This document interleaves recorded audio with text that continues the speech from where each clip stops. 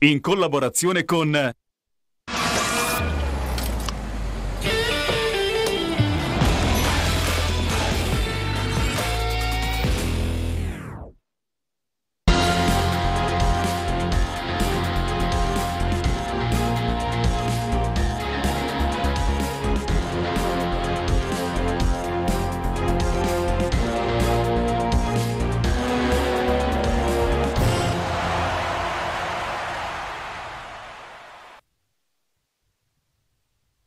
riso, latte, pane, tutto aumentato. La vostra spesa cosa racconta?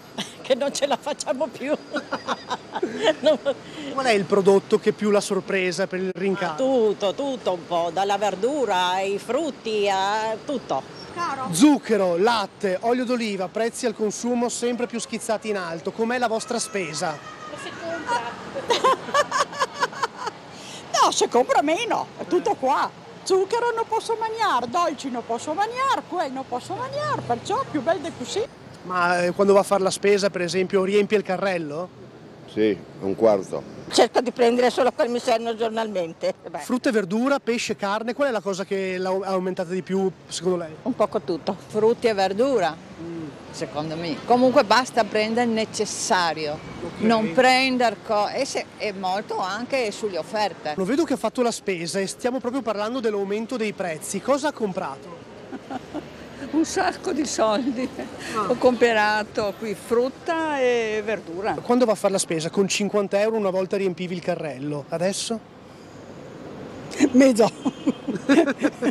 Mezzo carrello. Mezzo carrello sono spropositamente aumentati, anche esageratamente proprio. Con 50 euro si riempiva il carrello una volta. Ma con 50 euro mm, come cambio 50 euro e dopo 5 minuti non ho più niente in tasca? Perché ho comprato poche di cose perché faccio oggi il mio compleanno. Tanti auguri signora. Grazie, grazie, grazie. grazie. Faccio una domanda. Un compleanno costoso visto che i prezzi stanno aumentando al supermercato, qualsiasi eh, genere Ho preso 10 olive, un po' di carne impanata piccole e adesso faccio qua in bar per non, insomma, se no è troppo spesa. La carne e soprattutto l'olio d'oliva aumentato di molto. La mia spesa tipo è comunque alimentazione sana, avendo una bimba piccola, eh, però comunque c'è questo aumento e gli stipendi sono rimasti invariati. Esatto. Sono da stamattina alle 8, okay. la sera frutta. E verdura anche? La verdura anche, ma soprattutto noi mangiamo tanta frutta e quella ne frega. E poi bisogna scegliere tra carne o pesce, prendete tutte e due? Siamo abbastanza vegani, no vegani, vegetariani, per cui va bene così. Allora, buonasera, ben ritrovati in diretta con Ring, vi ricordo subito il 340 700 6567 per intervenire, la mail ring-tele4.it per raccontare un po' le vostre storie, quello che succede, segnalazioni. E dunque, vi dico subito che è una giornata, sono giornate in cui è successo davvero Uh, uh, di tutto, uh, dall'istituzione oggi della commissione Covid in eh, Parlamento, quindi capire che cosa è successo eh, con la gestione del governo Conte-Speranza, quindi grande litigio ovviamente tra le parti con il Movimento 5 Stelle agguerrito che lascia l'aula, il PD che non vota l'istituzione di questa commissione che il centrodestra, Fratelli d'Italia in particolar modo aveva promesso fondamentalmente, no? eh, fino alla Ehm, eh, del Tribunale di Trieste oggi sul tema del fine vita che vi abbiamo raccontato nel, nel telegiornale, c'è il bilancio, eh, o meglio eh, l'assestamento la, di bilancio per quanto riguarda la Regione, insomma, arriviamo attorno al eh, miliardo, no? quindi insomma, in queste ore è proprio un tema importante, quanti soldi sulla sanità, polemica su questo, sulle liste d'attesa e via dicendo, tanti tanti temi. C'è anche la condanna, sapete, per quanto riguarda il Ministero dell'Interno per una cosa che ci riguarda molto da vicino, di cui abbiamo parlato tantissime volte, che era nel programma del centrodestra, cioè quello delle riammissioni, nel nostro caso in Slovenia.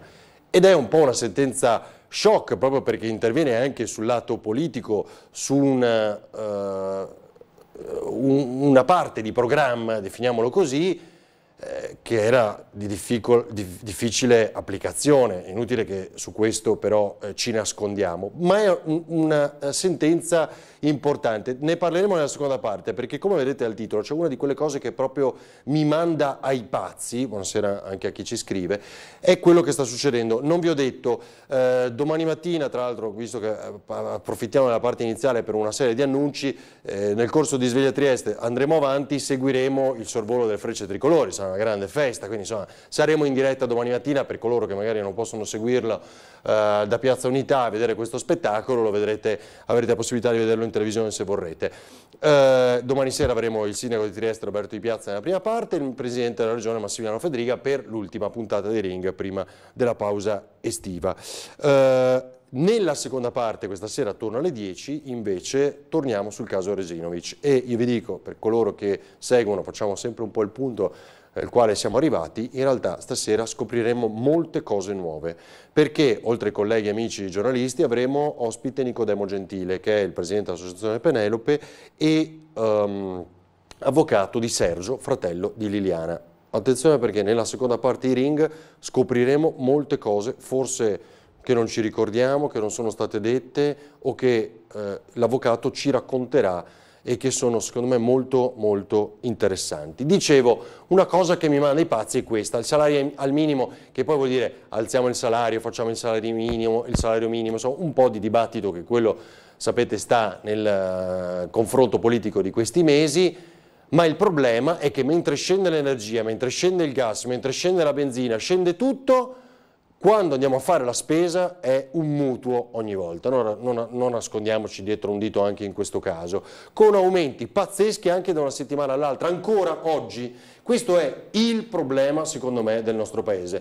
Nei giorni scorsi abbiamo raccontato perché tocca le tasche di tutti, no? chi ha di più, chi ha di meno, chi ha di meno viene massacrato ancora di più, quindi che farne? Perché quelle cose le deve comprare mangiare, deve mangiare, Abbiamo lanciato la proposta nei giorni scorsi anche in Veneto nelle nostre trasmissioni dello sciopero della spesa, cioè scegliere un giorno, due, in cui nessuno di noi si reca a fare la spesa per vedere di mandare un segnale. Non so se questa piccola stupidaggine può servire. Saluto e ringrazio il capogruppo di Fratelli d'Italia in Consiglio regionale, Claudio Giacomelli. Buonasera, ben trovato. Buonasera, grazie dell'invito. Fausto Tomasello, Partito Democratico, segretario Pordenone. Buonasera Tomasello. Buonasera, buonasera, grazie per l'invito. Forza, prima volta ring, dai, si faccia forza. Eh?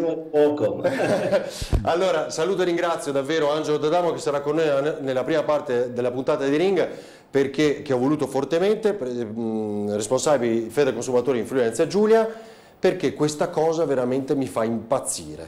Mi fa veramente impazzire. impazzire. Cosa sta succedendo? Perché continuano ad aumentare di settimana in settimana? Fa impazzire tutti quanti. Io richiamo solamente un, un evento che per noi è stato storico ed era il 10 giugno dell'anno scorso.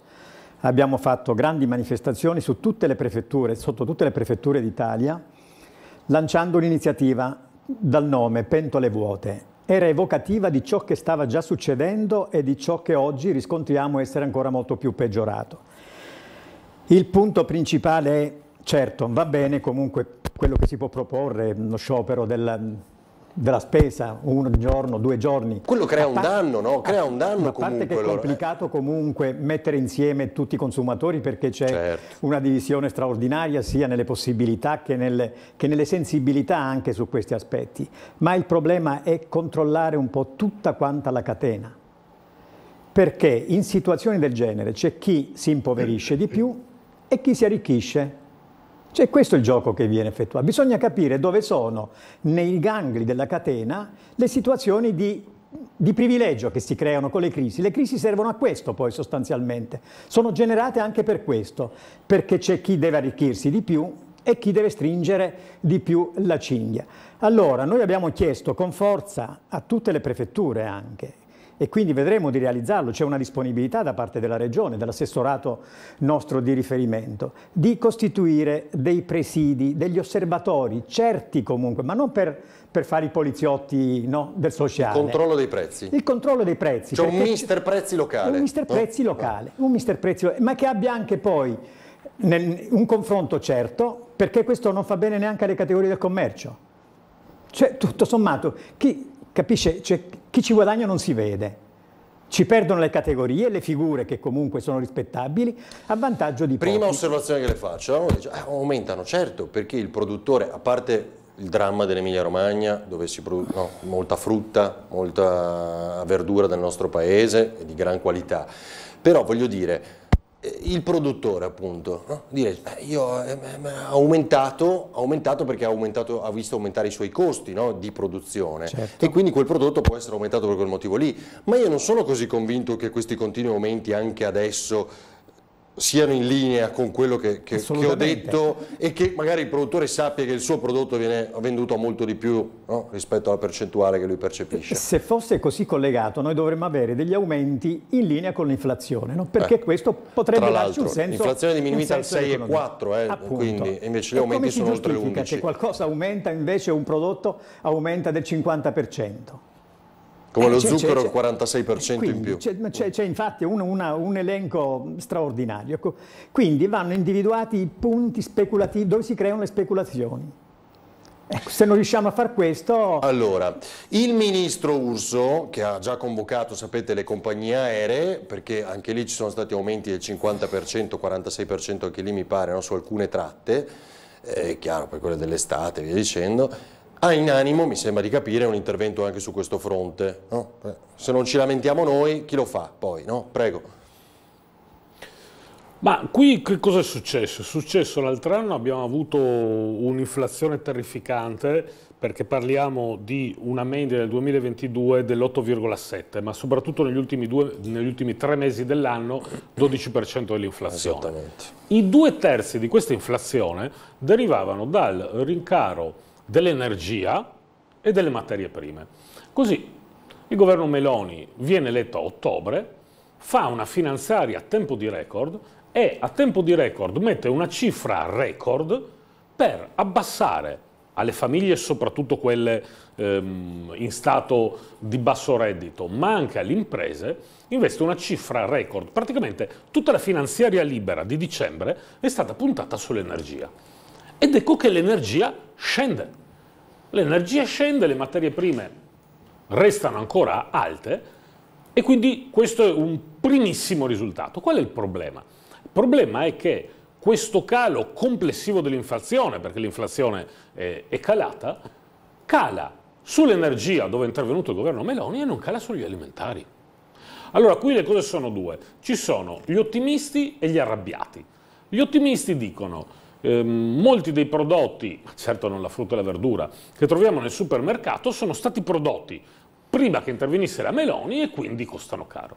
Mm. Ma la verità, la verità mm. e i dati lo dicono, ma questo a livello eh, europeo, è che le aziende, in particolare le aziende della grande distribuzione dei supermercati, hanno guadagnato.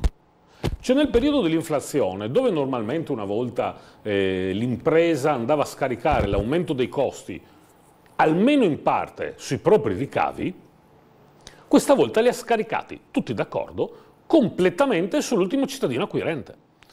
E questo ha fatto sì, guardavo un dato impressionante, negli ultimi due anni i grandi rivenditori e i supermercati, i 42 più grandi d'Europa, hanno fatto un extragettito di 28 miliardi. Contemporaneamente i loro stessi lavoratori non hanno avuto un aumento di paga, per dire, ma anzi hanno avuto le paghe fisse e poi hanno avuto ovviamente la diminuzione del potere d'acquisto che tutti noi, quando andiamo a fare la spesa, riscontriamo. Ringraziamo l'Ucraina, qua scrivono, no? diciamo, la guerra, eh, qua c'è un'accusa, una lettura politica, diciamo, di parte. Ma, ma ci sta, ci sta no, la lettura politica, però, però diciamo, c'è un tema che è quello della guerra, però secondo me siamo oltre no, qua, tema, non c'entra niente. ma il tema della guerra ha alzato i prezzi indipendentemente da cosa fa l'Italia con tutto rispetto, che, che, ho per il mio paese, ha aumentato a livello mondiale i prezzi dell'energia e delle materie prime. Esatto. Quando però il governo è intervenuto sull'energia, contemporaneamente i prezzi degli alimentari hanno continuato a salire. E questo cosa e volete allora, fare? Secondo me, ovviamente, adesso dobbiamo aspettare di vedere se i prezzi riscendono con le cose prodotte quando è sceso il livello dell'energia, ma secondo me non sarebbe da escludere di fare quello che eh, ha fatto il governo italiano nei confronti delle imprese dell'energia che è andato a tassare l'extragettito. Oh. Qua stiamo parlando di eh, un extragettito che non ha giustificazioni, cioè non solo hanno scaricato i maggiori costi sui eh, consumatori, ma nel momento in cui i consumatori, a fronte di una situazione emergenziale, usciamo dal Covid, eh, usciamo da una, adesso c'è la guerra, c'è la crisi energetica, eccetera, quindi i consumatori hanno continuato a sentire eh, questo problema dell'inflazione generale. Ma mentre l'inflazione scende, gli alimentari continuano a salire e i consumatori stanno accettando tutto. A questo punto ecco, esattamente... Oh, i consumatori stanno accettando questo, tutto, cioè non c'è una protesta, questo, non vedo andare in piazza. A no? qua, punto, eh. Però a questo punto, esattamente come si è fatto con i grandi produttori dell'energia, se i prezzi non scendono in corrispondenza con la discesa dell'inflazione, dovuta anche agli interventi governativi di Giorgia Meloni sull'energia, che non ha fatto altro, perché oggi ci dimentichiamo le bollette di dicembre e gennaio, ma se non c'era il governo, veramente... però nel momento in cui il governo investe anche sulle imprese, perché erano famiglie a basso reddito e imprese i più grandi beneficiari, una cifra che non ha precedenti nella storia del paese. E alcuni settori dell'impresa però non solo si limitano a non perdere, è giusto, un'impresa non deve perdere, ma addirittura fanno extra profitti di miliardi, Eh, questi esatto. extra profitti Allora, vanno tassati. Allora, eh, non so, qui dicono le sanzioni alla Russia, ho capito, ma le sanzioni alla Russia ci sono state anche prima, no? Eh, diverso tempo, non certo quelle di oggi, però non abbiamo visto Ma schizzare. francamente non è, che Eh. compriamo, non è che compriamo la verdura dalla Russia, Ma no? sì, ma appunto, ma allora, Tomasello, voglio sentire se lei mi segue diciamo, in questo ragionamento, perché io dico, eh, eravamo sconvolti per quelle bollette, eravamo sconvolti per la benzina e poi tutto no, sale, schizza quando deve salire, poi quando scende, no, scende con calma, qualsiasi prezzo. Siamo disposti a accettarlo, ma non che ad ogni settimana invece aumentino ancora. Cioè, capisce perché io dico che non ci arrabbiamo e questa roba qui mi, fa- mi manda veramente ai pazzi perché la, la famiglia che è in difficoltà, il single che è in difficoltà, paga molto di più, è molto più in difficoltà adesso perché certi prodotti, perché mangiare deve continuare a mangiare, cioè, e, e- quindi eh, l'abbiamo ancora messo più sul lastrico rispetto a prima. Prego. Eh, sì, eh, confermo, l'inflazione continua a mordere forte alle caviglie delle famiglie italiane.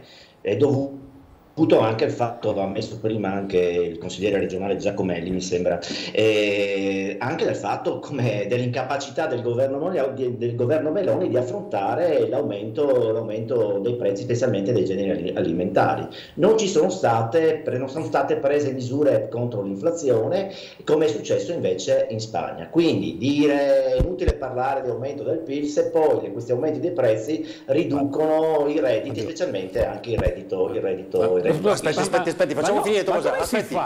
Aspetti, facciamo No, io finire Tomasello. ma no, io- dopo replica, dopo replica, No, prego sì, Tomasello. Lei abbia detto, Eh. abbia detto questo, mentre non ho siete ascoltato. intervenuti sull'energia, ne- mentre eh, quindi i prezzi dell'energia sono calati, certamente sui prezzi degli alimentari, così come è stato, è stato prima dimostrato dalla- dal, dal servizio della- che, è sta- che è stato tra- trasmesso prima, e come io eh, con- constato quotidianamente eh, quando vado a fare la spesa e anche per motivi, anche per motivi eh, professionali, dal momento che io eh, tratto moltissimo di sovra- sovraindebitamento, vediamo che c'è un, un folle aumento dei prezzi, eh, dei, dei- dei prezzi, ma non ci sono state delle misure da parte del governo Mel- Meloni ad affrontare il problema di questo aumento dei Oh, prezzi. mamma mia. Quindi, quindi questa, questa è, una- è la, è la- questione che io ho, ho- ho constatato. Vabbè, Io ma- l'unica ma- osservazione, aspetti, ma no, faccio ma- quello ma- che ha ma no, detto ma Tomasello, ma voglio scusi. sentire lei adesso. Sì, No. allora, che in realtà, e l'ho detto anche prima, l'inflazione non è arrivata a quelle cifre lì pazzesche, ora è scesa, è scesa al 6,4, poi mi dirà D'Adamo, no?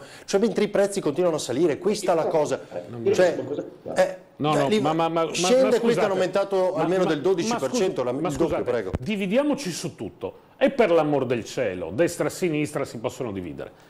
Ma un rappresentante del Partito Democratico, che nell'ultimo mese di governo del, Partito Democratico, a ottobre, aveva l'influenza, l'inflazione al 12%, aveva il 12%, a ottobre. Cioè, col Quando governo viene- Draghi, lei dice, Quando viene eletta Giorgia Eh. Meloni. Adesso abbiamo l'inflazione al 6,4 e mi devo ritrovare, perché poi, ripeto, ogni tesi è sostenibile, ma che nell'ultimo mese del PD ci sia stata l'inflazione al 12% e in questo mese di Fratelli d'Italia con Giorgia Meloni c'è l'inflazione al 6,4%, sentire che non ci sono state misure con inflazioni è addirittura lunare, almeno sui numeri, almeno sui numeri un po' di sincerità. Qua il problema è un altro, Esattamente Però, come scusi, l'inflazione. L'aumento dei prezzi degli, degli- degli- dei generi alimentari, quindi Ma per certo. quale motivo continuano ad aumentare? per quale motivo il governo Ma Meloni certo. non sta prendendo misure su queste cose? Ma come no? Signori, tutti i soldi che si avevano si sono messi sul caro energia, perché se no non è che si passava dal 12 al 6, con tutto rispetto per il PD, stando fermi. Si è passati dal 12 al 6 perché i due terzi dell'inflazione al 12 derivavano dall'energia e dalle materie prime. Al bicocca euro 7 e Dopodiché- 80, un'azienda dopodiché ne ha comprato solamente due, cosa ne pensate? Vergognoso. Dopodiché sia chiaro, ci sono dei settori merceologici, oggi parliamo degli alimentari, ma potremmo parlare del farmaceutico. Il farmaceutico ha fatto 47 miliardi di extragettito. Quindi è chiaro che si è intervenuto.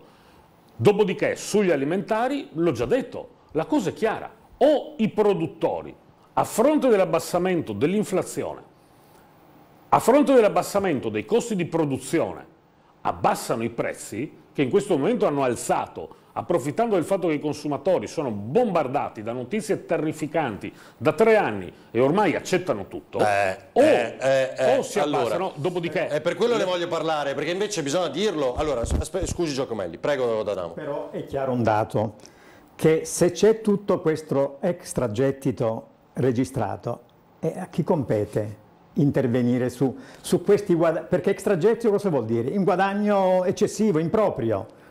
Chi deve intervenire su questo versante? Ed è chiaro che qua è il ruolo della politica. Io non, non- non faccio, non dico altro, lo accenno solamente con l'aspetto. Riguarda la politica, è un problema di sistema?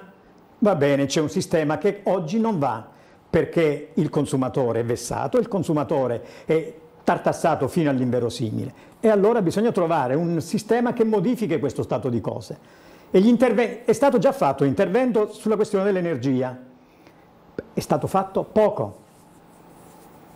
Perché oggi nella catena appunto si individuano dove sono i momenti e le responsabilità speculative e lì va colpito. Se non facciamo questo, Beh, appunto, sull'energia, poi- diciamo, la legge di bilancio, l'onore del vero, eh, su 35 miliardi erano, ne metteva 20, 21, certo. 21, Ma il dato 21 solo sulla... il problema sono i guadagni impropri che No, vanno eh, con- ma stiamo che- parlando di. Allora, tema- Il tema voglio capire perché è dopo che dobbiamo passare ad altri che temi. molto alle imprese, Eh. Ma alle imprese Ma potete bloccare i prezzi?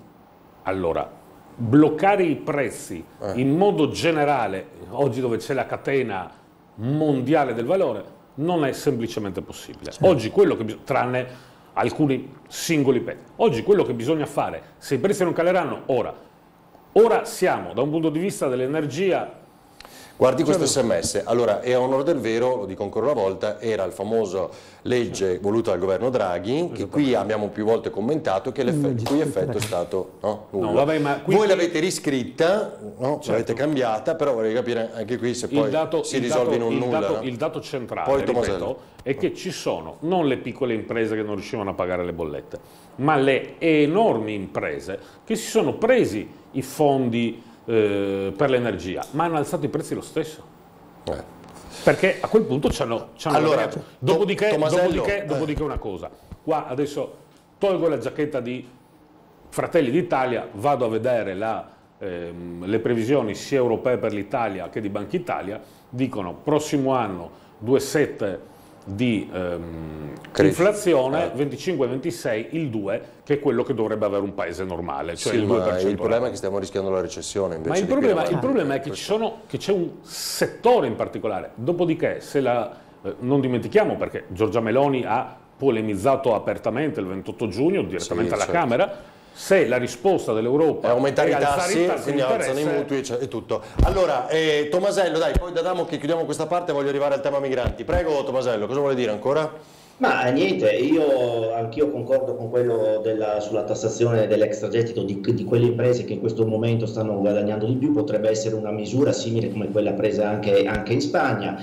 Noi come opposizioni abbiamo proposto appunto eh, il, il- il cosiddetto salario minimo che dia, che dia più forza quindi agli stipendi dei, dei lavoratori dipendenti. Questi, ritengo che questo del salario minimo sia un atto di responsabilità per contrastare la povertà, le, le disuguaglianze che in questo periodo periodo si evidenziano in modo particolare. Va bene, Dadamo? E qui aggiungo solamente questo. Noi abbiamo parlato essenzialmente di prodotti alimentari, ma gli aumenti non sono fermi e circoscritti solo a questo settore. Se pensiamo solamente a ciò che accade sul settore vacanze, vacanze, veniamo fuori dal Covid, c'è un desiderio questo lo registriamo nei nostri, nelle nostre sedi. Di, di, di è esasperato ecco, eh, di, certo. di, dire beh, voglio ricominciare a vivere. C'è certo. gente anche che si indebita pur di e l'indebitamento che cosa comporta? A parte che costa ancora di più l'indebitamento, certo. quindi è, un, il cane che si morde la coda. Gli aumenti che sono stati in tutto il settore, comunque, dai, dai trasporti, Trasporto aereo innanzitutto, e prima lei giustamente sì. citava comunque l'iniziativa anche del governo e le nostre pressioni eh, per, per, per, verificare un po' ciò che è lecito e ciò che non è lecito, perché il gioco anche del costo del kerosene non, non, sta, non sta neanche in piedi. La brandina al mare. Sì che, che, che, è aumentata del 50%. Oh, cioè, ma come questa, si spiega? Come questa si mi era sfuggita, ma diciamo ma sì, che abbiamo, questo è un tema sensibile. Ma certo, abbiamo, poi... anche, abbiamo anche, delle tabelle, noi abbiamo un osservatorio che ogni anno comunque fa i rilievi. Mm, sì, cioè, ma la brandina è quella che mi compro io o quella, il lettino? Il lettino, che, il lettino a noleggio al mare. In, qua, in quando vado in uno stabilimento. È l'ombrellone. Okay. Cioè aumento di costo sì, del 30, del 50%, come si spiega? Eh. Ah, la colpa dell'energia, la colpa della guerra, cavolate, cavolate. Allora gli, è necessario comunque che ci siano strutture adeguate di controllo e di... Eh, eh sì, eh sì, di cioè, intervento. Cioè, intervento. Allora, devo, scusate, ma veramente io volevo cominciare da questo perché è una cosa che mi fa veramente arrabbiare e non vedo no, un po' di... No, ognuno di noi va a fare la spesa, si lamenta, sta zitto e torna a casa, no? paga mutuo, tasi, e però se non ce lo diciamo tra noi, no? se non cominciamo ad arrabbiarci... Noi, noi, rifaremo in autunno comunque una grande iniziativa su questa... Eh su questo aspetto. Allora, sarà sciopero della spesa, sarà qualcos'altro, eh, sarà comunque... Dai, parliamone, qua bisogna correre, far prima. Allora, grazie Angelo D'Adamo, Fede Consumatori FVG, pochi istanti di pubblicità, vi raccontiamo qual è questa sentenza shock, comunque definita così per quanto riguarda le riammissioni, a tra poco.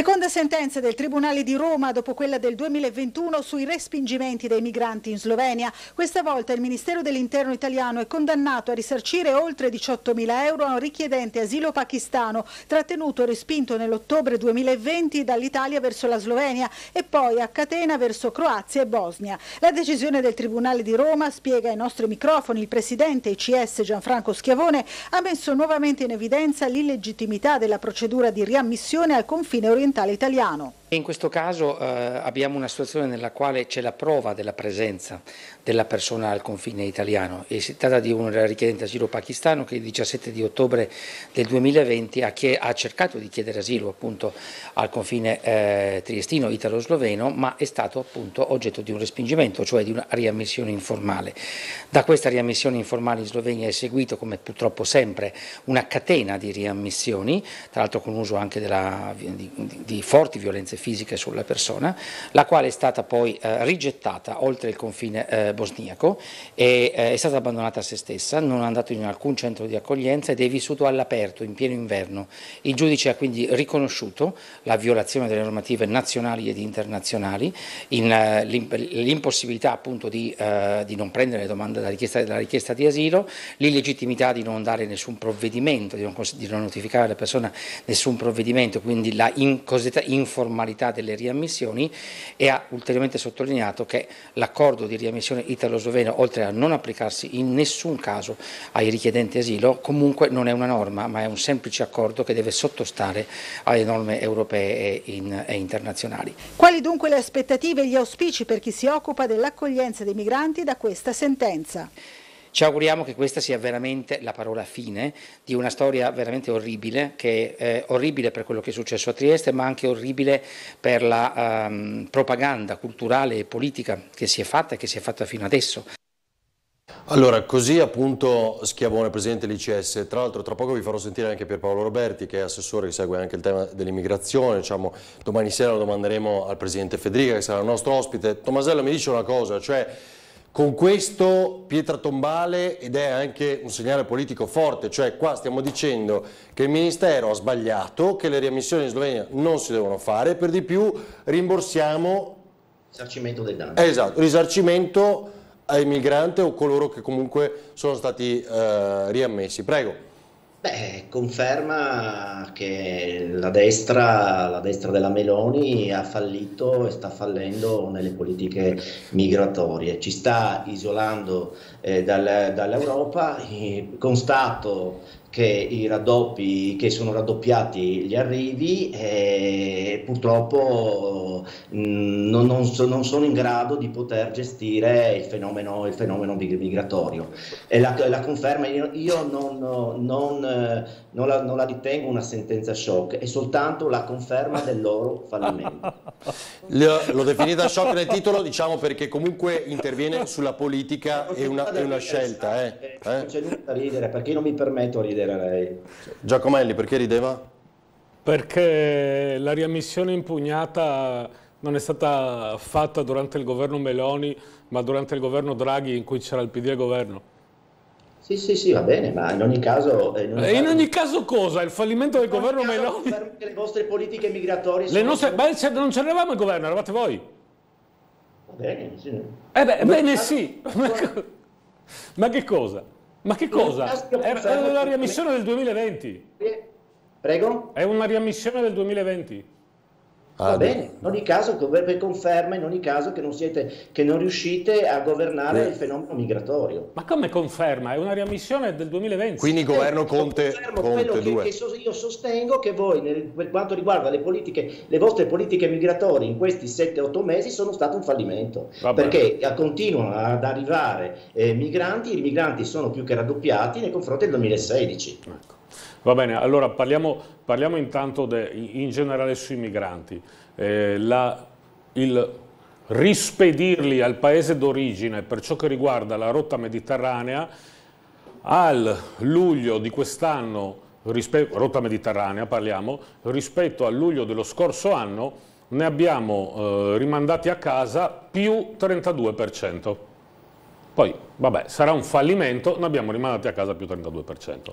Tornando alla rotta balcanica, le riammissioni erano già state sospese, questa riammissione era del 2020, ma era stata sospesa le riammissioni dopo una prima um, Sentenza, ordinanza, ordinanza, ordinanza, perché un'ordinanza sì. del Tribunale di Roma, lì effettivamente il governo eh, in cui c'era il Partito Democratico aveva detto, eh, aveva detto boh, non le facciamo più, le riammissioni sono riiniziate, eh, ci si prova perché è durissima la Qualche Slovenia, la Slovenia mm. fa, ehm, fa muro su questo per dire se proviamo a riammettere noi dobbiamo dimostrare che un migrante viene eh, dalla Slovenia, eh, la polizia italiana ne ha portato uno al confine, faccio un esempio ma così i telespettatori capiscono, con un pacchetto di sigarette croato e, ehm, e, la Slovenia ha detto non è detto che sia passato per la Slovenia per arrivare dalla Croazia all'Italia, effettivamente si poteva essere paracaduttato. Ora io non voglio prendere in giro i telespettatori, noi non molliamo, faticosamente avevamo messo le riammissioni come governo, come governo Meloni, andavano per questo motivo eh, di una certa resistenza della Slovenia, eh, andavano a rilento, stavano migliorando, ora questa ordinanza del Tribunale di Roma è un colpo durissimo, è un colpo durissimo che non dimostra nulla sulla politica dell'uno o nell'altro. È un colpo durissimo perché è arrivato un giudice del Tribunale di Roma e ha detto le riammissioni non si fanno. Per la persona a cui l'avete fatta dovete dargli, non solo dovete riprenderlo in Italia, ma dovete dargli anche 18.200 euro. Cioè. E, e, ragazzi, qui sì. ovviamente il governo non molla, l'ordinanza del Tribunale è impugnabile, ad ora, a questa sera, mentre parliamo, eh, non c'è stato nessun dispaccio da parte di Roma di fermare le riammissioni. Ah, quindi cioè questo, non, non, ha avuto effetto no. diciamo, di bloccarle, ad, anche ad se... Ora, ad ora no. Conto se che, non se ne fanno praticamente, l'ha detto Conto che il, il, mm, che il governo la impugnerà, dopodiché dobbiamo parlarci con franchezza. Sentiamo Roberti dopo. Un attimo, eh, un attimo sì. solo, dobbiamo parlarci con franchezza. In questo momento non si può bloccare il confine, e un giudice della magistratura romana ha detto che non si possono riammettere in Slovenia. Quindi, se si segue alla lettera questa sentenza, noi siamo di Fratelli d'Italia, non smetteremo mai di combattere, chiaramente, però se si applicasse alla lettera questa sentenza, la questione sarebbe finita. Mm. Entrano quanti vogliono, fanno le loro richieste, le riammissioni non esistono, questo dice, tra l'altro... Quindi Ventimiglia, no? Perché, per dire, perché poi anche la Francia li manda di indietro dopodiché, dopodiché all'Italia. Mm. Qui che cosa dice questo giudice? Tra l'altro mi sono scaricato la sentenza. Aspetti, ce lo legge subito dopo. Mi fate sentire Pierpaolo Roberti cosa, come ha replicato? Vediamo. Eh, la posizione è assolutamente critica nei confronti di questa sentenza, eh, ho già provveduto a contattare il Ministero dell'Interno che ha assicurato che procederà nelle varie sedi di giudizio per difendere la propria posizione. Questo è il primo commento dell'assessore regionale alle politiche dell'immigrazione Pierpaolo Roberti alla sentenza del Tribunale di Roma che ha condannato il nostro Ministero dell'Interno per aver applicato la procedura di riammissione di un migrante pakistano in Slovenia. Al di là del ricorso nei prossimi gradi di giudizio, Roberti sottolinea l'aspetto della condanna che si basa soprattutto sulla catena di riammissioni, partita sì dall'Italia ma proseguita da altri paesi. Penso che sia una decisione assolutamente discutibile e che non condivido assolutamente assolutamente non condividiamo assolutamente. Prima di tutto perché stiamo parlando di accordi internazionali vigenti ormai da più di vent'anni ehm, e che quindi sono accordi tra stati che vanno rispettati, accordi che peraltro sono assolutamente identici rispetto a quelli che eh, l'Italia ha sottoscritto con la Francia, in base ai quali la Francia fa le riammissioni verso il nostro territorio. E in fin dei conti, leggendo il dispositivo della sentenza, non si condanna l'Italia in quanto fa gli, eh, i respingimenti eh, verso la Slovenia, si condanna in questo caso il fatto che la Slovenia eh, rispetto alle persone che vengono riammesse li riammette a sua volta in Croazia e la Croazia li riammette in, uh, in Bosnia. In fin dei conti alla fine se ci pensiamo bene veniamo condannati per delle cose che altri fanno, altri paesi esteri fanno e questo trovo assolutamente inaccettabile. Ricordo Slovenia e Croazia fanno parte dell'Unione Europea, fanno parte di Schengen e quindi devono rispettare e sottostare alle stesse regole di carattere europeo, eh, rispettano i diritti civili esattamente come li rispetta l'Italia e come rispettano gli altri paesi europei, diversamente non dovrebbero far parte dell'Unione Europea. Allora, cosa dice il passaggio della sentenza? Era, era, proprio questo, c'è uno dei motivi, la sentenza dice ehm, che la, la, Slovenia è carente per cui ehm, non si può, rende ineffettivo il diritto d'asilo in Slovenia, dice che i migranti sarebbero soggetti a trattamenti inumani, ah. e questo lo dice un giudice italiano, ed avere torture da parte della polizia croata. Scritto nella sentenza. Nella torture. sentenza, torture della polizia croata. Quindi e non condizioni non, non, non adeguate e degradanti in Bosnia. Cioè, Slovenia e Croazia, dice il giudice di Roma, sono paesi, in Slovenia non, non applicano il diritto d'asilo, in Croazia la polizia li tortura e in Bosnia non è adeguato, quindi se li deve tenere l'Italia. E la cosa bella, prima l'assessore Roberti citava eh, l'accordo con la Francia, per cui la Francia li rimanda indietro a Ventimiglia, ma ce n'è un altro uguale, che è quello con l'Austria, eh, più vicino a noi, al Brennero.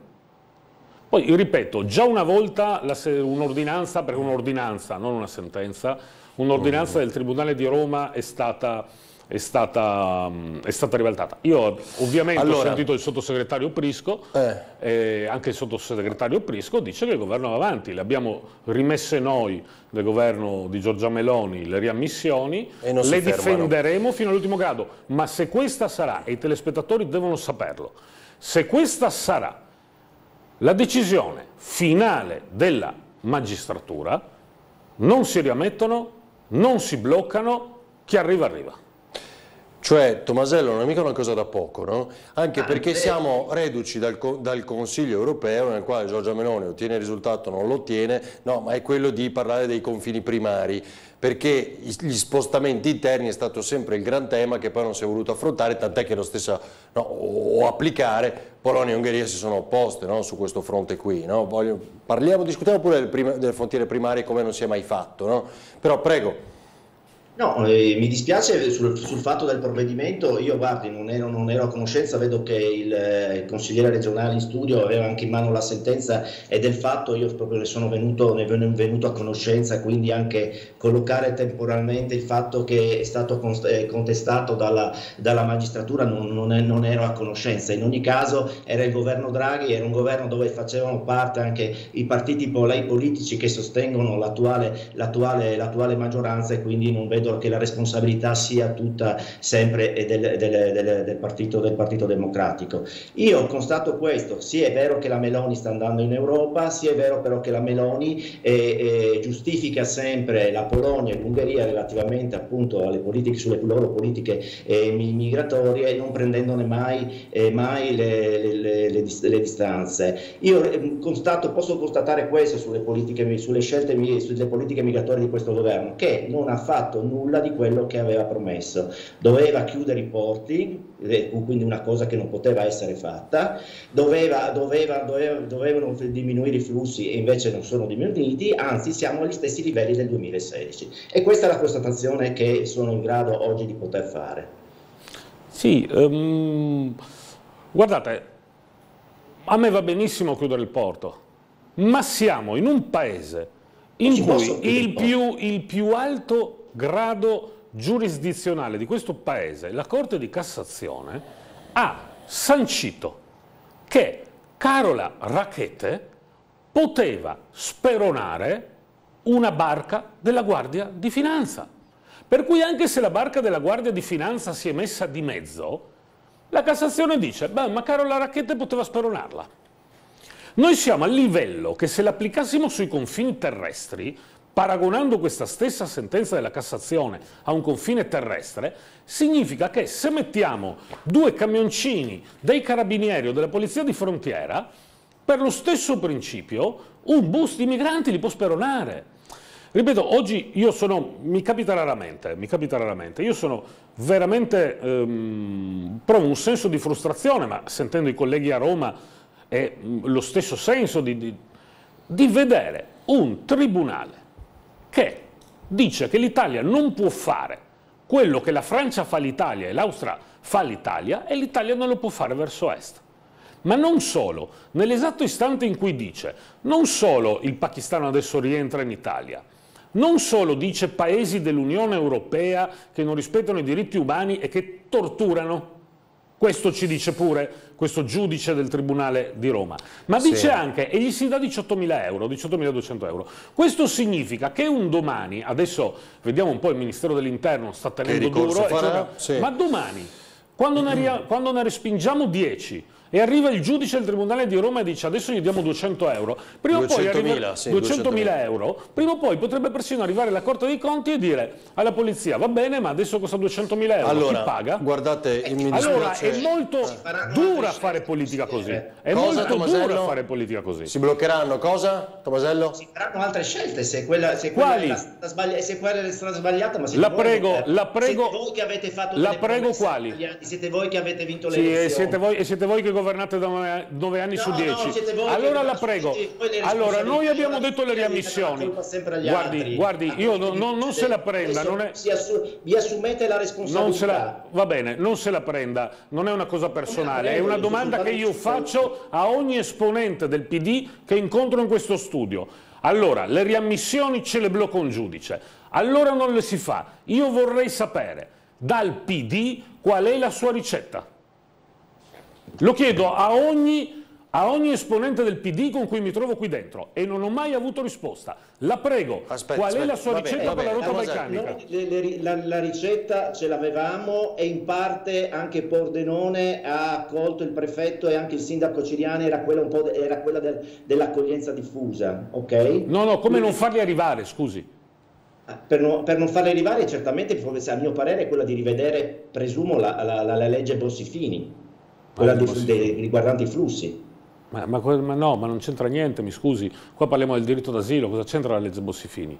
Qua parliamo delle persone che arrivano, passano il confine e ma dicono anche il centro-destra vuole rivedere la Bossifini. Ma no? questo sicuro, ma non è che blocca la rotta balcanica. Allora, fermi, voglio, scusi Tomasello, e chiedo scusa anche al pubblico, diciamo, passare totalmente a un altro ragionamento, ma, un discorso, ma voglio sentire diciamo, almeno in una battuta a testa, perché qui abbiamo affrontato più volte il tema del fine vita anche dopo quello che ha detto la richiesta diciamo, di una signora triestina e ho fatto vedere più volte in questo studio la differenza per esempio col Veneto che nelle prossime settimane probabilmente accompagnerà alla, alla, morte una seconda persona, quindi con scelte diverse e regioni che confinano. Cosa dice il Tribunale di Trieste oggi? Che sulla segnalazione di questa vita il Consiglio regionale deve affrontare e via dicendo, su richiesta di questa signora bisogna fare tutta una serie di accertamenti, no? lo deve fare l'azienda sanitaria, per probabilmente definire i confini di questa richiesta e mi perdonerete anche per il tipo di espressione utilizzata. Tomasello, cosa si dovrebbe fare dal suo punto di vista? Poi Giacomelli, però vi chiedo purtroppo di essere veloci. Non ho, non ho sentito. Fine vita, il fine vita. Ah, per il, per, per il, fine vita mi sembra che si stia discutendo in Consiglio regionale uh -huh. una mozione, una mozione che è stata poi anche, se non sbaglio, eh, se non ricordo male, approvata dal, dal, um, è passata simile anche nel Consiglio regionale del Veneto, quindi con il voto favorevole anche di Zaia, è quella di dare eh, dal momento che manca una legge del, del, Parlamento e dal momento che la sentenza della Corte Costituzionale del, mi sembra del 2019 eh, ha dato appunto degli spazi per poter concedere, dare la possibilità a chi vuole, a chi vuole interrompere eh, la, la, libertà del suicidio medicalmente assistito. Quindi è giusto che in regioni si sia, um, che la regione intervenga in questo campo per dare certezza su un percorso da seguire nel caso in in cui un soggetto scelga appunto il percorso della, del suicidio medicalmente assistito. Cosa dice Giacomelli? allora l'ordinanza del Tribunale di Trieste dice che eh, la SUGI eh, deve verificare la sussistenza delle tre condizioni esatto. ehm, che consentono di non imputare l'omicidio del consenziente eh, e quindi chiede di verificare che sono le condizioni rispetto a patologie irreversibili, sofferenza insopportabile fisica o psicologica, vivere attaccati a una macchina ma la capacità di intendere di volere per scegliere. Per scegliere sì. la, il Tribunale di Trieste dice alla Sugi verificami queste condizioni. In ricorso invece era chiesto anche che eh, la Sugi dovesse anche indicare e rendere le modalità per porre termine alla vita e anche indicare il farmaco con cui per essere cui... chiari, il Veneto mette a disposizione appunto il farmaco e il macchinario, non esegue. No? Allora, non per quello, per quello che mi riguarda, in un paese serio non ci può essere differenze normative tra una regione e l'altra per quello che riguarda il fine vita. Non posso pensare a una persona che si sveglia la mattina a Trento ehm, in Trentino non si può fare, vado in Veneto a richiederlo, no, però aspettate, in Veneto il comitato etico-scientifico è molto duro su quella malattia, meno su quell'altra, sarebbe meglio andare in un'altra un regione. In un paese serio questo non può avvenire, non può essere un livello regionale il Parlamento deve decidere. Grazie a Fausto Tomasello per essere stato con noi, grazie e grazie, grazie. a Claudio Giacomelli. Pochi istanti di pubblicità e torniamo sul caso Resinovic con novità importanti che sentirete tra poco.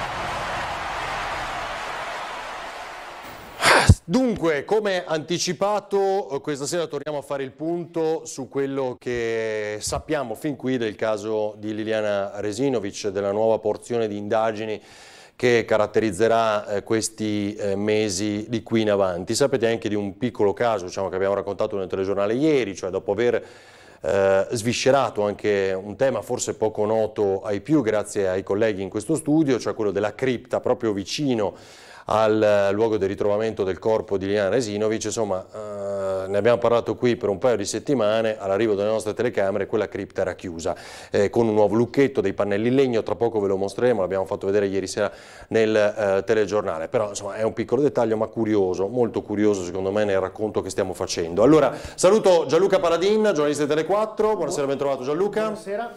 Con noi ancora Giampaolo Sarti del Piccolo. Buonasera a tutti, rieccoci. E Nicolo Giraldi, responsabile di Trieste Prima. Buonasera, buonasera a tutti. Ma soprattutto, lo vedete nel titolo, è con noi il eh, presidente dell'associazione Penelope, avvocato di Sergio Resinovic, fratello di Liliana, Nicodemo Gentile. Avvocato, buonasera. Buonasera a voi, grazie dell'invito, buonasera ai vostri ospiti. Grazie per essere con noi. Dunque, mh, eh, ci farebbe piacere questa sera capire appunto dove siamo arrivati, ma soprattutto so che lei anche in animo un po' di dire quali sono stati forse i passaggi di questi mesi, il punto a cui si è arrivati, mh, più di qualcosa credo anche no, non, noto, non noto ai più. No? Che, cosa, che messaggio vuole mandare stasera, avvocato? Ah, eh, direttore, io eh, uso eh, e spendo nella sua importante trasmissione le stesse parole di esordio di fronte al dottor Dainotti in quella opposizione, udienza all'archiviazione del 5 giugno. Rimettiamo al centro eh, Liliana, eh, questa donna eh, scaricata eh, come una eh, giocattolo roto, sempre detto, no? Eh, occultata in due sacchi neri come scarto industriale di macelleria, perché eh, spesso succede che poi nella narrazione deragliante eh, la vittima va a finire nello sfondo più buio, eh, i protagonisti diventano eh, altri eh, soggetti che hanno ruoli diversi. La vittima deve essere al centro, questa donna docile che si è ritrovata eh, imbustata su un freddo prato di Trieste e che sta facendo discutere tutta Italia. Liliana al centro e dobbiamo ricostruire in modo dettagliato, analitico e globale questa vicenda, con umiltà, con coraggio, riavvolgendo il nastro e eh, partendo di nuovo da, da zero. Questa era stata la nostra richiesta perché quella del suicidio che è stata eh, diciamo, l'ipotesi dominante eh, elettiva tanto da sembrare una indagine suicidio centrica, mi sono permesso di definirla, che è partita dal suicidio e tutto quello che è stato visto è stato eh, visto con gli occhi di questa ipotesi deve essere azzerato. Noi siamo convinti che in campo non ci sono eh, più squadre, non c'è la squadra del suicidio o quella dell'omicidio, c'è la squadra della verità, una verità che sfugge, una verità che è mobile, una verità che ancora non si raggiunge. E quindi al centro Liliana e dobbiamo eh, ricominciare per quanto è possibile fare. Certo, Avvocato, perso... senta, mi dica diciamo, una cosa di sua impressione per quanto si possa tollerare un'espressione di questo tipo. Parliamo di omicidio. Partiamo da qui, no? Guardi, allora, io ho la mia di, eh, ipotesi, ma non serve a nulla la mia. Eh, il giudice eh, di fronte ad un cadavere e di fronte a quella che deve essere definita tecnicamente una morte sospetta, una morte equivoca, ha eh, voluto che si eh, scrivesse l'articolo del codice, il 575 che è quello del suicidio. È giusto procedere in, questo, in questa direzione. Eh, vedremo sicuramente, sicuramente eh, quella del suicidio è eh, una ipotesi che doveva essere sicuramente valutata, che doveva essere sicuramente percorsa, ma credo che eh, ormai in tanti, in tantissimi, in scienza e coscienza, dovrebbero avere eh, l'umiltà eh, di eh, veramente confrontarsi con i plurimi elementi, plurimi e molteplici elementi di natura anche dichiarativa, comportamenti sicuramente insoliti e sospetti che devono essere sicuramente vagliati in modo unitario e globale. È stata spezzettata questa indagine, non c'è stato un occhio d'insieme e lo dico con grande rispetto, io faccio i corsi di formazione eh, con gli amici della polizia, con gli investigatori, quindi ho un massimo rispetto. Mi dica una cosa però, mi dica una cosa, allora, è stato chiarissimo, è possibile che qualora, cioè, la sua idea può, può significare poco, però ci interessa molto invece, perché insomma, lei ha un dialogo costante col fratello Sergio, eh, probabilmente avete elementi che a noi mancano, molti insomma sono eh, stati eh, riportati nero su bianco nella vostra richiesta di, no, di non archiviare, però il tema è, è possibile che qualora si tratti di omicidio, questa brutta storia possa non riguardare in realtà nessuna delle persone a noi note fin qui? Guardi, io invece la penso diversamente, mm. nel senso che ho sempre detto sin dall'inizio che questo è un delitto di prossimità.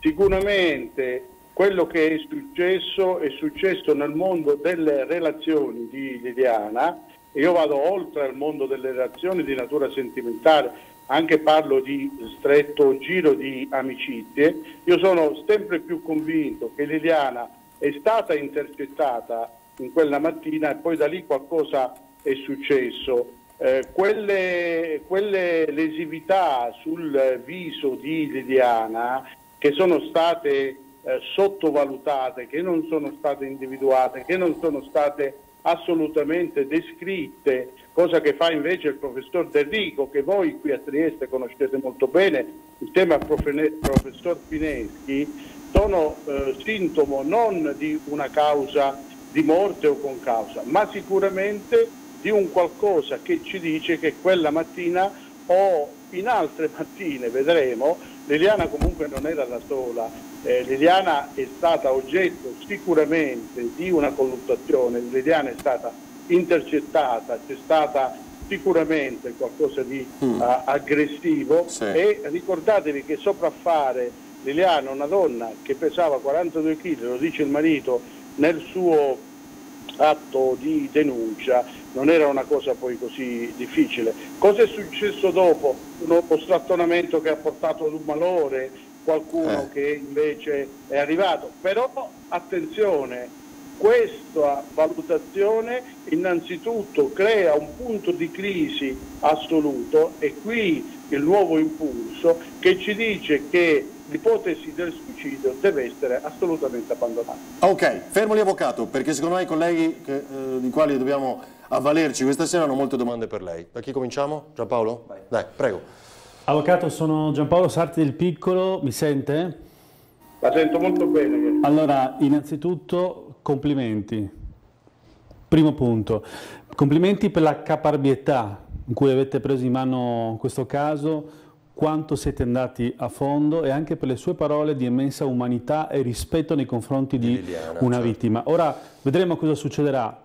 Qualora fosse stata uccisa o se si trattasse di un suicidio, è comunque vittima. Liliana è comunque vittima, perché una persona, ora non, non abbiamo, come dire, delle conoscenze di carattere psicologico, tantomeno conoscendo la persona, però se una persona si suicida, ci sarà un motivo.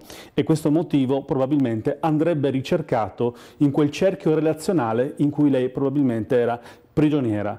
Detto questo, complimenti anche al GIP che ha accolto pienamente, direi, o quasi tutti i rilievi che avete fatto con il, suo consulente, se non sbaglio, dottor Fineschi, okay? ed è uno dei più importanti, più importanti in Italia esperti di casi difficili. È stato consulente per il caso Cucchi, è stato eh, il medico legale che ha fatto, attenzione, ha fatto l'autopsia del povero Giulio Leggeni, quindi chi ci ascolta da casa deve capire in che mani siamo in questo momento. C'è un caso di questa portata e sotto l'attenzione di uno dei consulenti, dei medici legali più importanti in Italia e non soltanto, con esperienze anche all'estero. L'abbiamo sentito il 18 giugno sulle pagine del Piccolo, dottor Fineschi, una bella intervista alla collega Laura Tonero, che ha detto una cosa apparentemente banale, però, come dire, basica. Quale? Se si rifà la, e si dovrà rifare perché lo, lo, lo chiedete voi, l'autopsia, eh. ok? Cioè si, si, rimette mani lì e anche risumando il cadavere e soprattutto rivedendo un corpo che, che sia stato eh, seppellito, quindi con la riesumazione lì potrebbero esserci altri elementi, soprattutto quegli aspetti sui muscoli, andare a rilevare il discorso degli enzimi per capire con le tecniche ora in corso se è stata congelata o raffreddata, le tecniche che si usano a livello alimentare per le truffe alimentari per capire se la carne che Certo. ci viene venduta e servita è stata raffreddata o congelata prima del consumo. Sono cose molto importanti che vengono fatte, ma attenzione, lui dice una cosa molto semplice. Se attraverso questa analisi si scopre che Liliana è morta il giorno della scomparsa, dunque quel 14 dicembre, significa che è stata uccisa, perché con le sue gambe lei nel- nel- nell'ex UPP, nel parco lì eh, in quel boschetto, non poteva andarci da morta ovviamente. Oppure perché... il malore che anche eh, l'avvocato Gentile adesso ha citato, eh? cioè un malore, sì certo ci sono i segni di violenza, però può essere accaduto Ma durante ecco, un bravo, litigio come avevamo dopo- detto. No? Io vole- volevo solo eh, aggiungere una cosa, eh, ma mm, mi viene in mente a proposito di malore di una possibile colluttazione, ma lei si rende conto che quei segni, segni che aveva al volto ed erano anche in qualche modo descritti prima- nel- nel- nei documenti che avevamo del dottor Costantinides e del dottor Cavalli, vengono come dire lasciati lì, senza spiegazione. Ma perché secondo lei si può fare una cosa del genere? Cioè trovi dei segni in faccia e non vai a fondo? Allora, prego Avvocato Gentile, con i conoscenti Gianluca Paladina anche, prego. Allora, per quanto riguarda la medicina legale, eh, nonostante il grande valore dei consulenti della Procura, che sicuramente non sta a me eh, dare dei voti, non sono, non sono- non sono abituato, però sicuramente quel prodotto tecnico è un prodotto eh, assolutamente che non ha aiutato l'indagine, tant'è che la stessa Procura, dopo aver atteso per molto tempo il deposito della consulenza definitiva, poi nel momento in cui decide di archiviare fa un salto dicendo bene, forse i nostri medici legali si sono lasciati ingannare e a me non interessa quando è morta perché eh, io non ho individuato dei reati, io faccio questo, il resto lo lasciamo alla storia della famiglia di Lilli. Certo. Ecco, questo evidentemente è un ragionamento che è stato assolutamente bocciato eh, dal GIP perché in realtà una procura ha eh, diciamo come punto di base quello di capire quando è morta. Soprattutto, guardate, eh, ripeto, questa analisi deve essere un'analisi a 360 gradi. Siamo di fronte ad un'indagine che sta cercando degli indizi e quindi tutti questi tasselli devono essere messi insieme. Vi faccio eh, alcuni esempi. Eh, noi abbiamo consegnato una fotografia reale al GIP di alcuni comportamenti che noi abbiamo chiamato insoliti e sospetti che riguardano alcuni dei soggetti che eh, vivevano intorno alla- al, al mondo eh, di Lilli. Ad esempio, e vi dico una prima cosa che forse eh, non è stata evidenziata in questo periodo particolare, siamo stati noi come eh, avvocati della difesa di Sergio e Veronica Resinovic a individuare quei due siti che Claudio Sterpin non aveva consegnato all'indagine.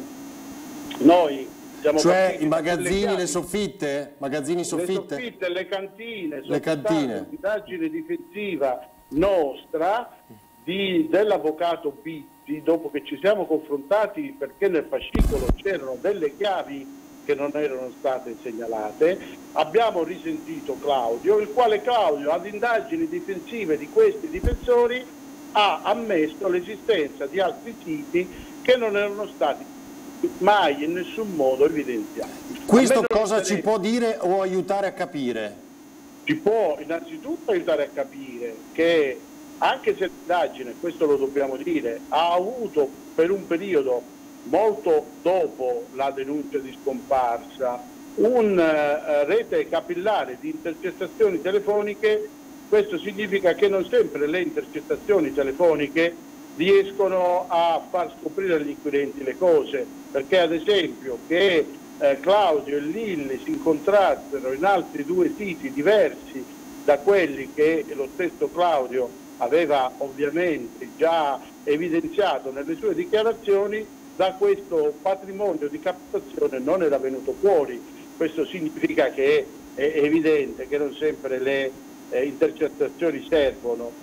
Cosa dicono? Dicono che in un'indagine dove i medici legali della Procura addirittura dicono è possibile che lei eh, pensando ad una morte al 3 o al 2 di gennaio del 2022, che lei addirittura indossasse gli stessi vestiti, ma non era un elemento perché lei aveva qualche locale dove si poteva addirittura lavare i vestiti, io mi fermo qua e non vado avanti in questa ricostruzione, Ah, beh è evidente che sapere dove Liliana fosse in quei 20 giorni è un dovere eh, di chi eh, indaga. Sì, non può restare una- sospeso, una- no? Come dice, certo, certo.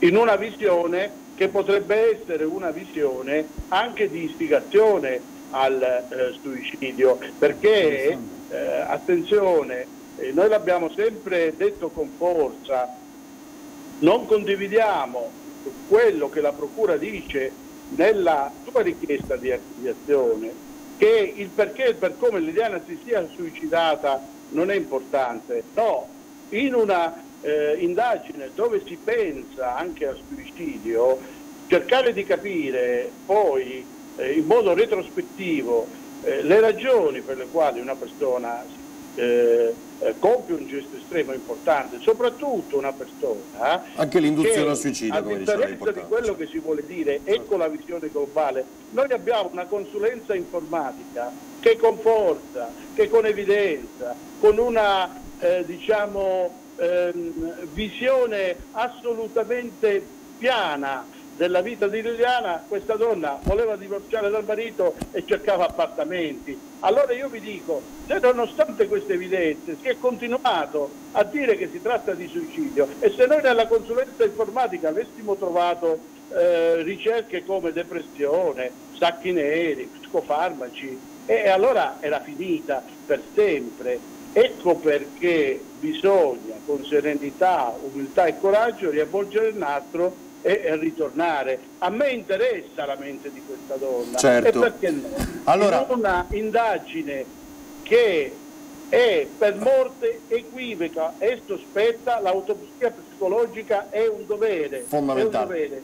Fermo lì. Allora, grazie, grazie Avvocato. Aspetti, aspetti solo qualche istante perché voglio far intervenire tutti. Intanto mi aveva colpito che chiaramente diciamo, nel dare il primo, nel sottolineare un aspetto forse poco ehm, esaltato ecco, degli effetti del vostro intervento via dicendo. Noi abbiamo mostrato le foto che ha pubblicato Nicolò Giraldo su Terrestre Prima, appunto dei famosi magazzini, cantine e via dicendo. Lei abbia sottolineato qualcosa che riguarda eh, Claudio Sterpin. Insomma, a me ha colpito, no? uno si immaginava forse parlasse più di Sebastiano, lo ha fatto poi in realtà anche nella seconda parte, quindi... però insomma, eh, non, ha, non ha detto mica una cosa da poco, eh? oltre eh, al fatto che bisogna capire se può esserci appunto un luogo nel quale lei può aver trascorso quei giorni oppure allo stesso tempo anche purtroppo un, com- un comportamento che può essere etichettato come istigazione al suicidio. Attenzione, sono tutti elementi interessanti, senza, eh, fermandosi, come ha detto lei molto bene, con le ricostruzioni fino a qui perché appunto sono investigatori. Niccolo Giraldi, prego. E, e poi i, i temi alla fine sono tra virgolette sempre un po' quelli, no? cioè c'è il lato umano della vicenda che è sottolineato in maniera puntuale molto eh, precisa dall'associazione Penelope, ma insomma da, da tutte le persone che chiaramente hanno voluto bene a Liliana eh, e che ovviamente adesso insomma, chiedono verità e giustizia sul, sul caso. Poi c'è tutto il lato tecnico, c'è tutto il tema delle, del, delle, analisi, dei controlli e delle indagini di per sé.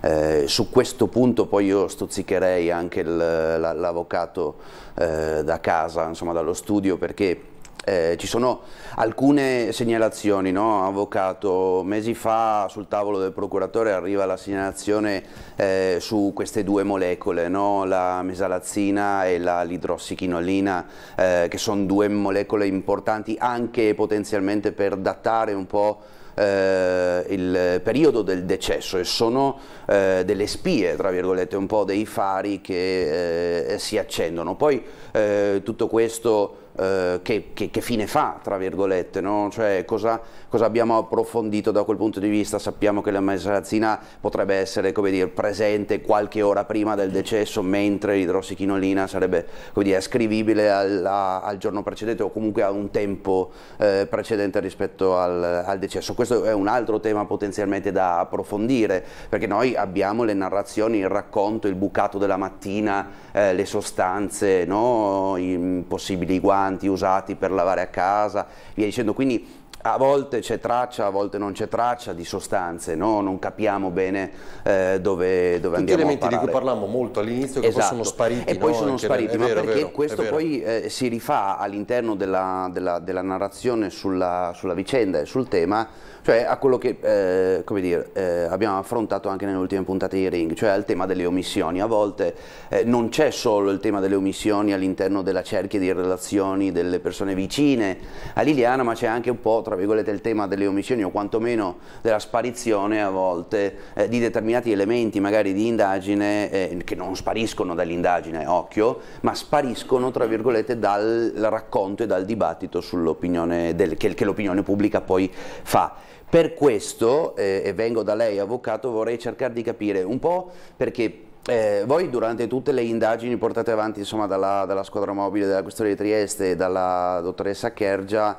eh, avete, dire, eh, siete- avete proceduto in maniera parallela, su una via parallela tra virgolette un po' cercando di andare ad approfondire determinati temi che poi fortunatamente appunto hanno portato alla ehm, all'opposizione, cioè alla richiesta di archiviazione. Ecco, oggi cosa, cosa- cosa vi aspettate? Cioè, al di là di quello che sta facendo chiaramente la Procura e la squadra mobile, pensate di dire, andare avanti per conto vostro anche su determinate indagini perché sarebbe interessante riuscire a capire anche un po' questo perché se effettivamente siamo arrivati a questo punto è anche e soprattutto per merito vostro. Allora, avvocato Gentile e poi Gianluca Paladin, prego. Sì, grazie, grazie di questa, di questa domanda perché eh, introduce un tema molto importante. Io ho parlato prima di Easter Pin, noi abbiamo consegnato una fotografia reale, eh, noi non abbiamo chiesto né di indagare qualcuno né soprattutto nessuna condanna, però ci sono dei comportamenti che devono essere valutati. Tra i comportamenti che noi abbiamo chiesto al GIP e che continueremo a chiedere alla Procura perché poi sono correlati con tutta una serie di accertamenti chiesti dal GIP. Tra l'altro voglio dire che il GIP non ha fatto altro che prendere le nostre richieste e, e riportarle, sono, sono tutti dei punti che noi avevamo bene evidenziato. Ci sono ad esempio dei comportamenti, eh, anche in questo caso, eh, da verificare, ma anche nell'interesse eh, delle persone che io sto per dire, in quanto questo serve per chiarire alcune cose. E faccio un esempio banale, ma questo è un elemento a nostro avviso estremamente importante. Vi dico subito, allora, alle 8.24 il telefono di Sebastiano Vicentini viene agganciato nella zona di San Pelagio, via dei Marchesini. Tenete presente che siamo vicino casa e alle 8.22 lì gli aveva fatto 8.24. Quindi dopo pochi minuti Sebastiano è in eh, quella diciamo, area. Noi abbiamo chiesto di eh, capire se è possibile una localizzazione molto più precisa, non più dell'area ma della, della via, della zona del porto. Allora tenete presente che alle 9 eh, alle 9.02 eh, Sebastiano Vicentin si trova in via Carducci. Via Carducci è, voi che siete di Trieste lo sapete meglio di me, a pochissimi passi, a pochissimi metri da via Battisti alla Wind. Se Lilli è vero come è vero che alle 8.43 in via della di Guardiella, tenete presente, voi se avete il provvedimento del giudice potete assolutamente vedere, che anche quei 5 minuti che eh, la squadra mobile dice di eh, allineare eh, le telecamere, l'orario delle telecamere di via Chiesa, quindi le 8.43 di via di Guardiella diventano le 8.48 per essere poi in eh, piazzale Gioberti alle 8.50, noi non abbiamo delle- dei criteri oggettivi che ci dicono perché dobbiamo far salire di 5 minuti le lancette delle telecamere. E, e il GIP dice in realtà dovete fare questo tipo di situazione.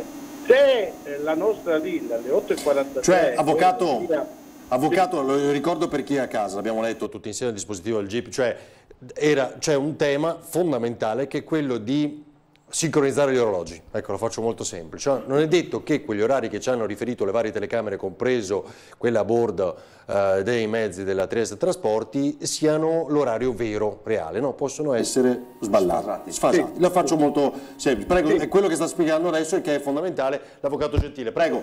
perché significa che Lilli a piedi ed era una camminatrice per arrivare in via, in via Cesare Battisti alla Guind dove aveva detto a Sterpin che voleva andare, più o meno lui intorno alle 9, 9.05 Lilli era là.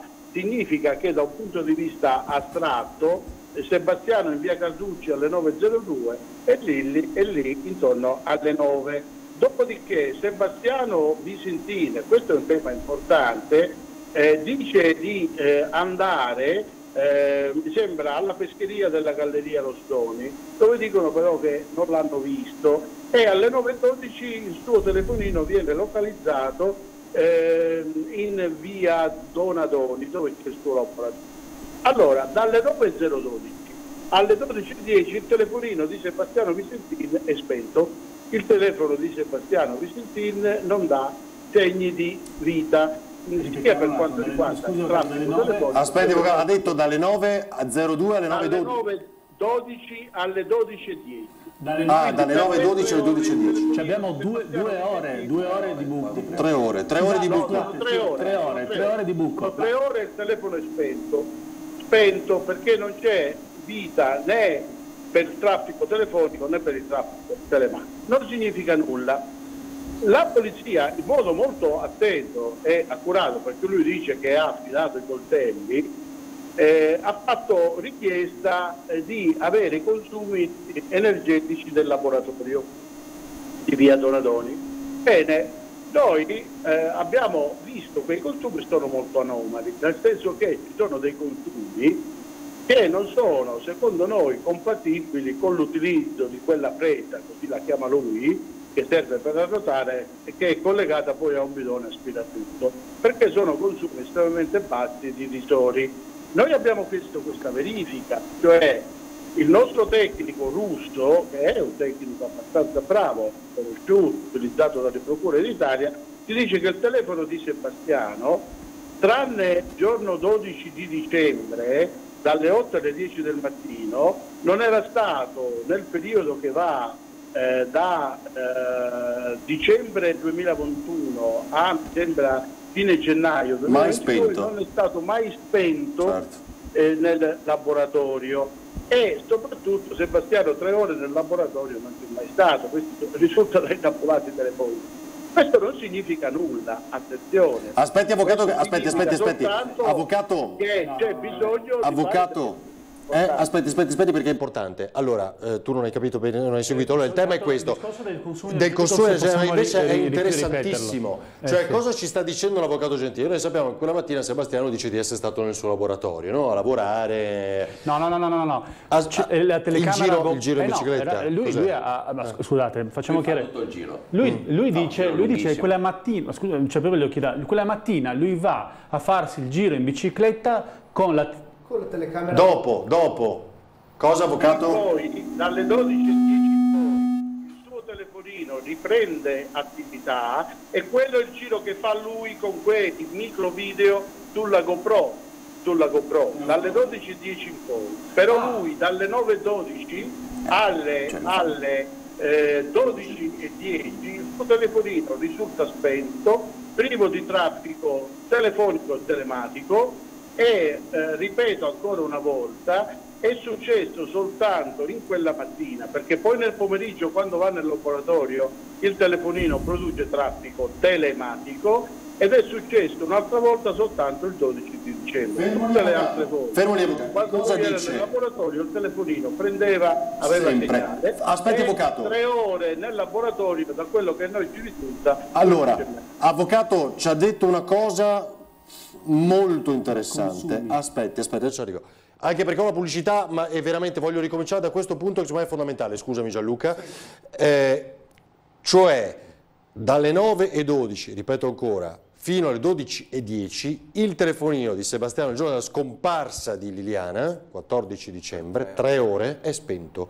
Di solito, eh, quando andava nel suo laboratorio, appunto dove dice lui di essere stato, non lo spegneva, no? È capitato solo un'altra volta, ma mai, insomma, di fatto.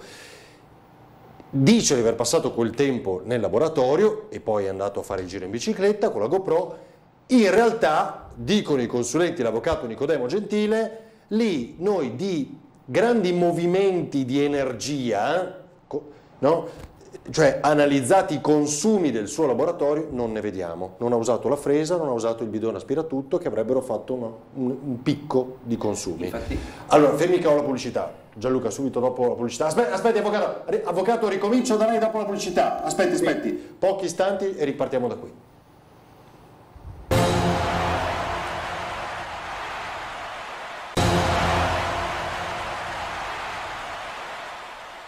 Allora, torniamo in diretta anche perché poco fa l'avvocato Gentile ci ha detto una cosa molto interessante secondo me la ricostruzione, che può voler di dire tutto come niente, lo ha, detto, lo ha specificato lo stesso avvocato. Fermi lì, Gianluca Paladin, vai. Sì, credo che l'avvocato stesse rispondendo però. Adesso, adesso, lo sentiamo. Allora, è interessante quello che ha appena detto, eh, quindi gli spostamenti che vengono fatti e effettuati dai protagonisti di questa vicenda, poi abbiamo detto, l'ha detto prima anche l'avvocato Nicodemo Gentile, questo è un caso, una situazione che ruota attorno alle persone. Allora andiamo per ipotesi ipotesi, Liliana non si è suicidata, ipotesi, Liliana non si è suicidata, quindi qualcuno ha concorso nella sua dipartita, un malore, uno spavento, a metterle le mani addosso, istigazione al suicidio, sono tanti temi che stanno venendo fuori in questi minuti, ma io voglio sapere, innanzi, voglio sapere tante cose, magari l'avvocato potrà aiutare, ma voglio sapere a che punto siamo con le indagini.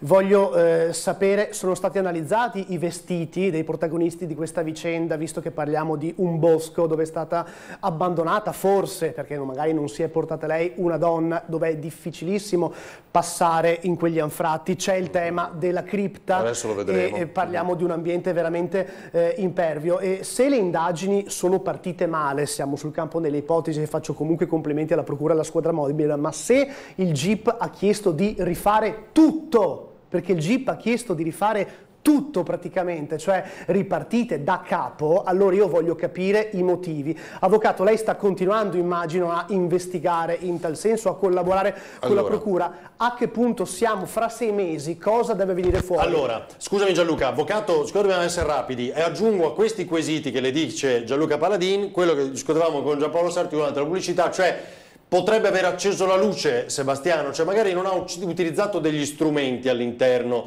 eh, del suo laboratorio, ma, ma, magari era lì veramente, faceva altro, senza necessità di grande dispendio di energia elettrica. Prego Avvocato. Allora, voglio precisare che questo accertamento è stato fatto dalla polizia la nostra analisi poi è stata suggestiva e ci sono delle fasce di orario, perché parliamo di tre ore, dove i consumi sono sicuramente irrisori, sono sicuramente mm. irrisori. Questo è un dato. Noi abbiamo chiesto un accertamento anche nell'interesse di Sebastiano Vicentini proprio per evitare che ci siano zone d'ombra e che il suo narrato, suo racconto possa essere lineare, possa essere quello di una persona che appunto nulla ha a che vedere con la vicenda della morte della moglie, questo noi eh, vogliamo metterlo in evidenza. Addirittura negli atti della indagine c'era anche una richiesta da parte della ehm, eh, squadra mobile di verificare anche i consumi di energia elettrica della casa di eh, Visintin, dell'appartamento di Via Verrocchi in quella mattina, perché eh, Sebastiano Visentin in una delle sue versioni dice che la mattina era tornato a casa in bicicletta e questo lo conferma anche una dichiarazione della cugina di eh, Liliana, della Silvia eh, Radin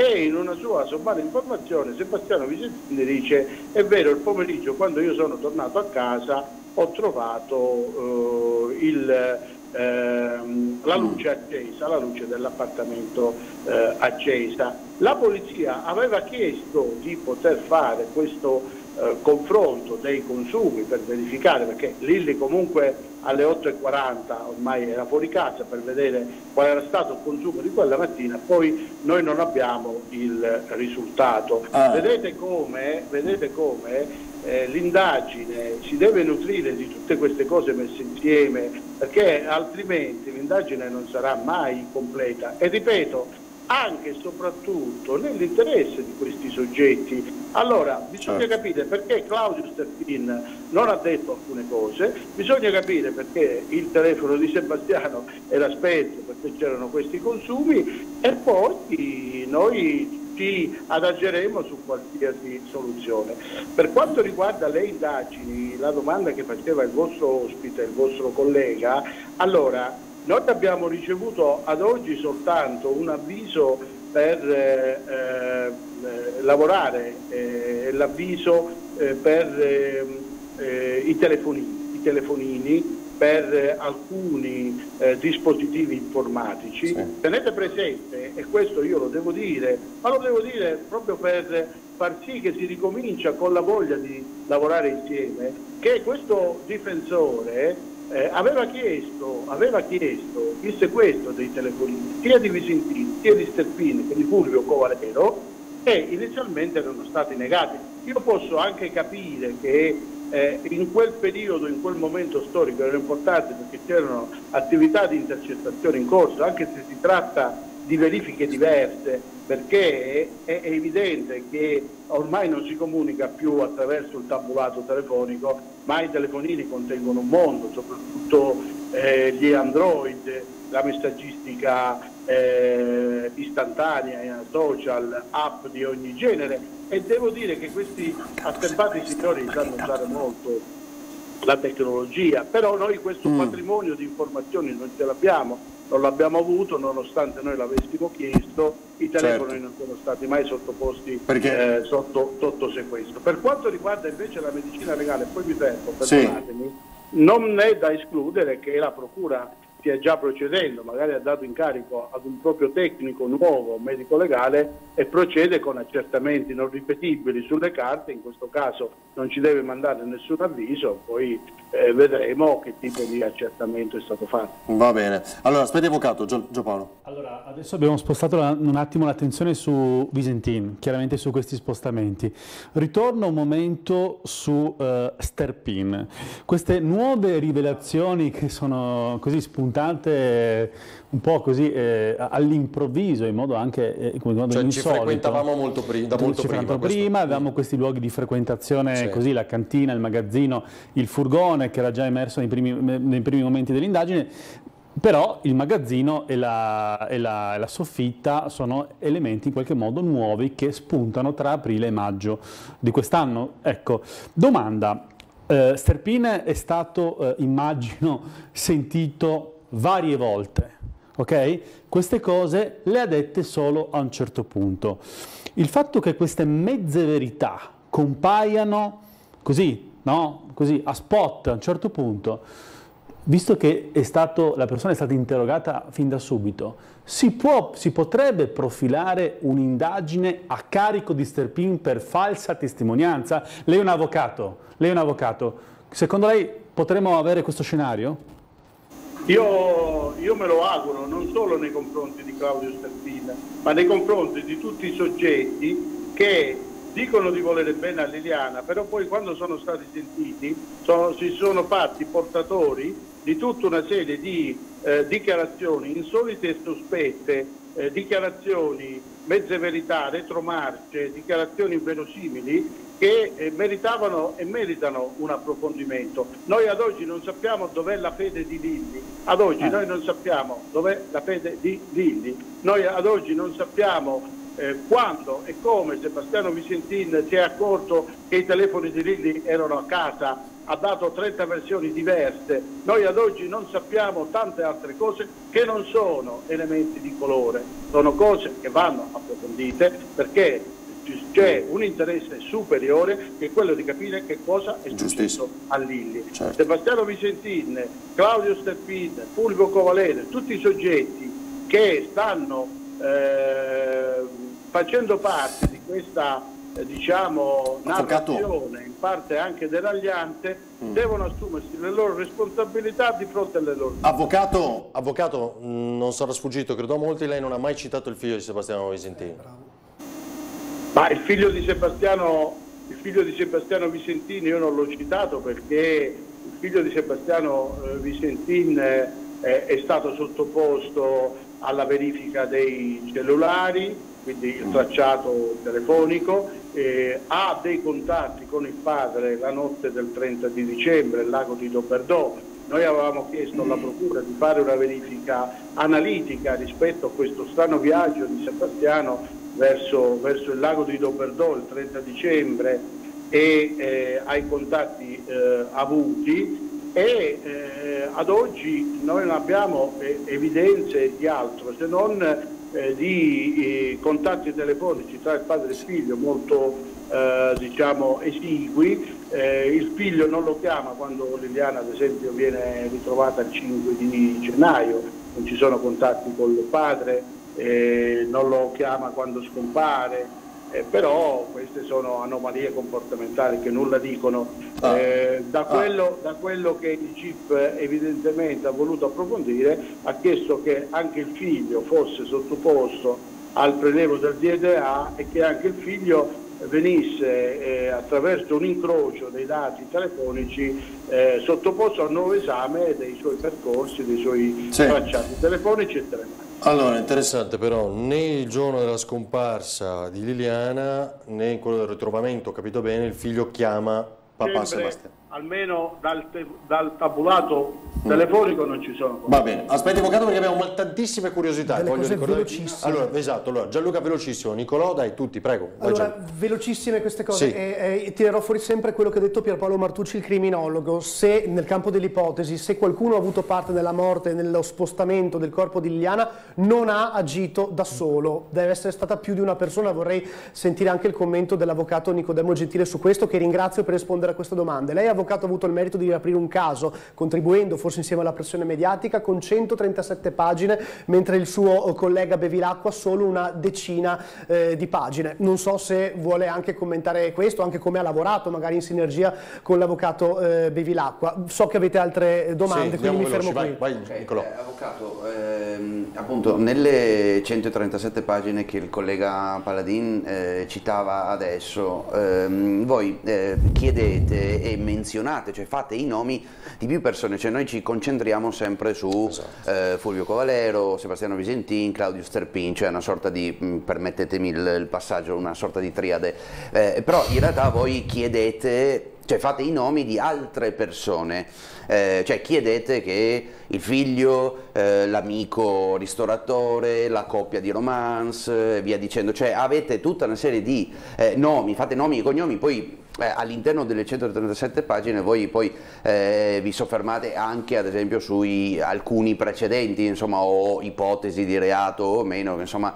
hanno contraddistinto o avrebbero contraddistinto la vita di alcune persone nel- nel passato. Ora, senza andare per forza a fare i nomi, quello che mi chiedo è quando il GIP dice eh, continuiamo ad indagare nella cerchia di relazioni e anche il GIP fa il nome, permettetemi di nuovo, della triade, però le altre persone, tra virgolette, spariscono, no? Cioè quando il GIP dice andiamo anche lì, quelle persone verranno sentite, finiranno all'interno delle, delle analisi, dei controlli e delle, delle- delle eventuali insomma, eh, interrogatori e via dicendo, oppure, oppure no? Allora, eh, facciamo così, siccome anche Giampaolo vuole fare questi- eh, una domanda, Gentile risponda intanto avvocato a queste due vicende, questioni e poi andiamo a Gianpaolo Sarti.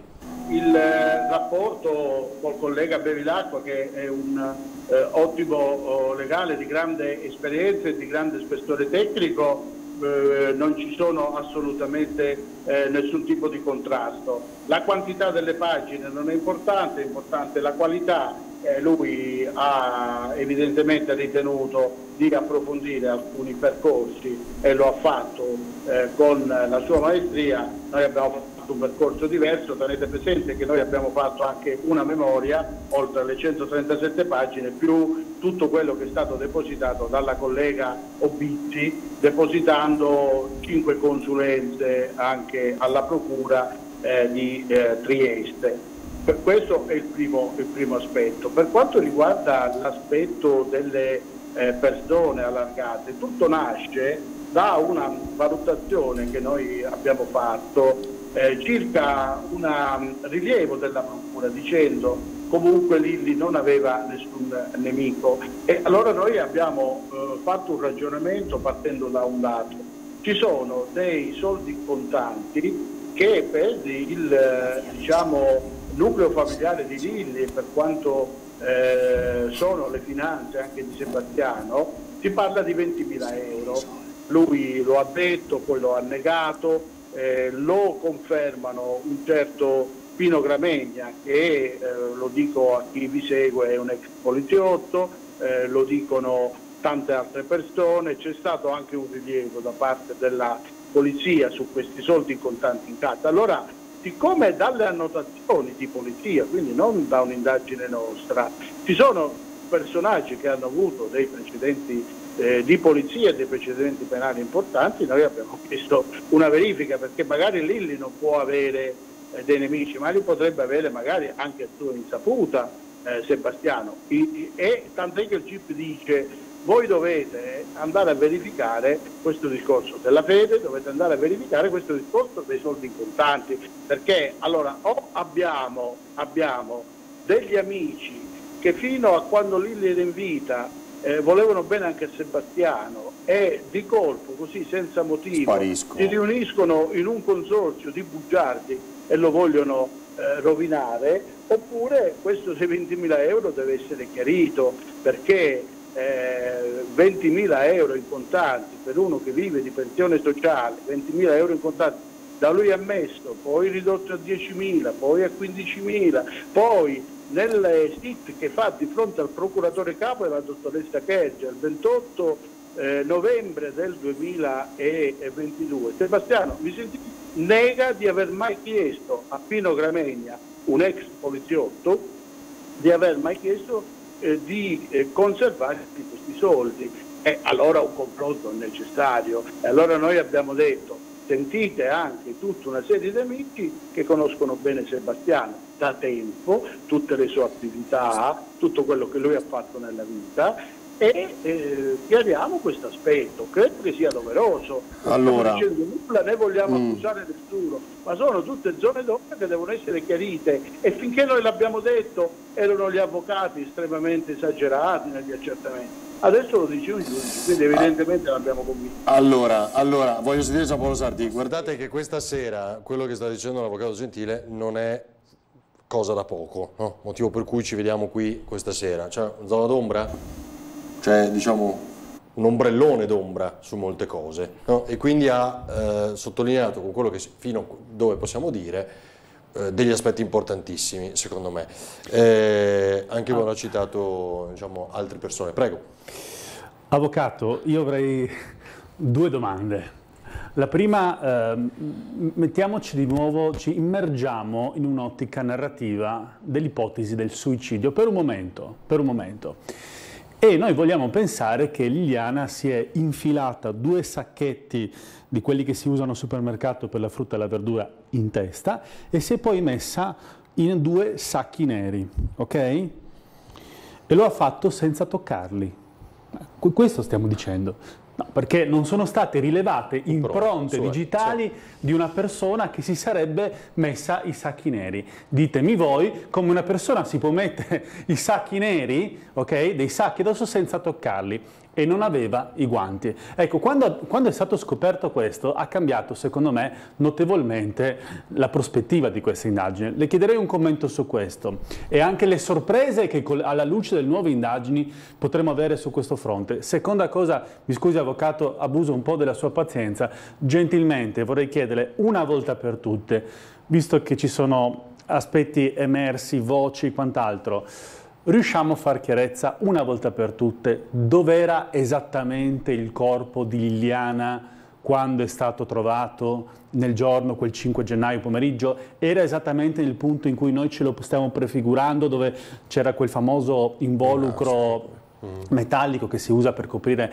le persone, oppure era più in prossimità della rete metallica che de- delimita la scarpata? Facciamo, perché siamo stati un po' ambigui su questo ed è rilevante perché la posizione di come viene trovato un corpo rispetto poi a uno spostamento può anche indurre a, a delle piccole va- variazioni. Prego, avvocato. Allora, grazie, grazie della, della domanda perché è molto interessante. Sul discorso del suicidio non bisogna mai, mai, mai dimenticare che c'è la tossicologia che è assolutamente negativa. I casi da soffocamento da sacchetto per casistica eh, e letteratura scientifica internazionale sono sempre con tossicologia positiva, quindi farmaci, la vittima si eh, stordisce, non riesce ad evitare altrimenti atti di autoconservazione.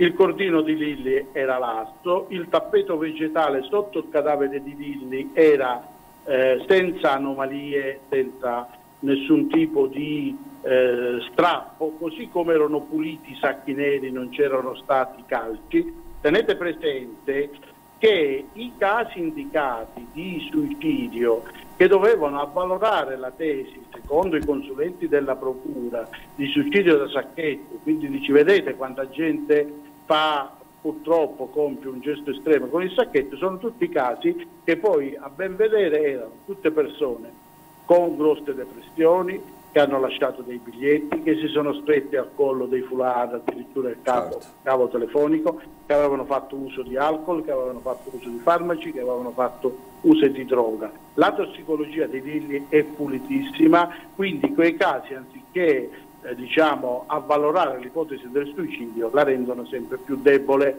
detta dai consulenti del PM. Questa è la criminodinamica che ti dice con forza, ti dice con forza che Lilli non si è assolutamente suicidata, assolutamente non si poteva suicidare in questo modo, non aveva senso, anche perché tenete presente una cosa, che se Lilli realmente avesse voluto fare eh, un gesto estremo, compiere un gesto estremo, lo poteva fare a chilometri zero perché il stacchetto era a casa, il cordino ritrovato in modo così anomalo da Sebastiano Vicentini, questo è un altro capitolo eh, che poi sì.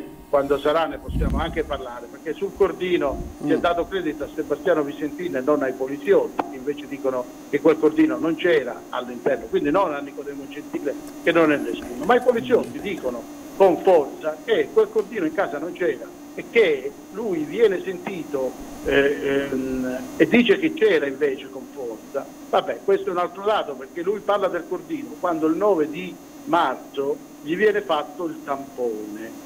Guarda caso l'11 si scopre che c'era il cordino uguale a quello che è stato ritrovato al collo di Liliana, però i poliziotti dicono che quel cordino... Scusate, eh, di colpo compare, spunta il cordino? Cioè sì. il... Io mi ricordo anche il cassetto, no? lui fa vedere il cordino nel cassetto, cioè, nelle telecamere. Nelle prime allora, perquisizioni quel cordino non viene trovato? Il 9 di, lui il 9 di marzo viene chiamato dalla, dalla questura operante perché gli devono fare il tampone per il prelievo del DNA che poi verrà comparato con parte di quel cordino, con quel cromosoma Y che hanno trovato sul collo e non c'è assolutamente nessuna compatibilità. E questo è un dato che noi abbiamo appreso anche con piacere e accettato. Però l'11 di marzo lui dice di aver ritrovato questo cordino in cassetto in cucina quando questo cordino, lo dicono i poliziotti, nelle precedenti perquisizioni non c'era stato. Di solito le parole del, del, degli uomini di legge fanno fede fino a quell'era di fatto. Comunque questo è un dato che là ognuno poi se le legge come, come vuole, questo è comunque un, un, un, un, aspetto.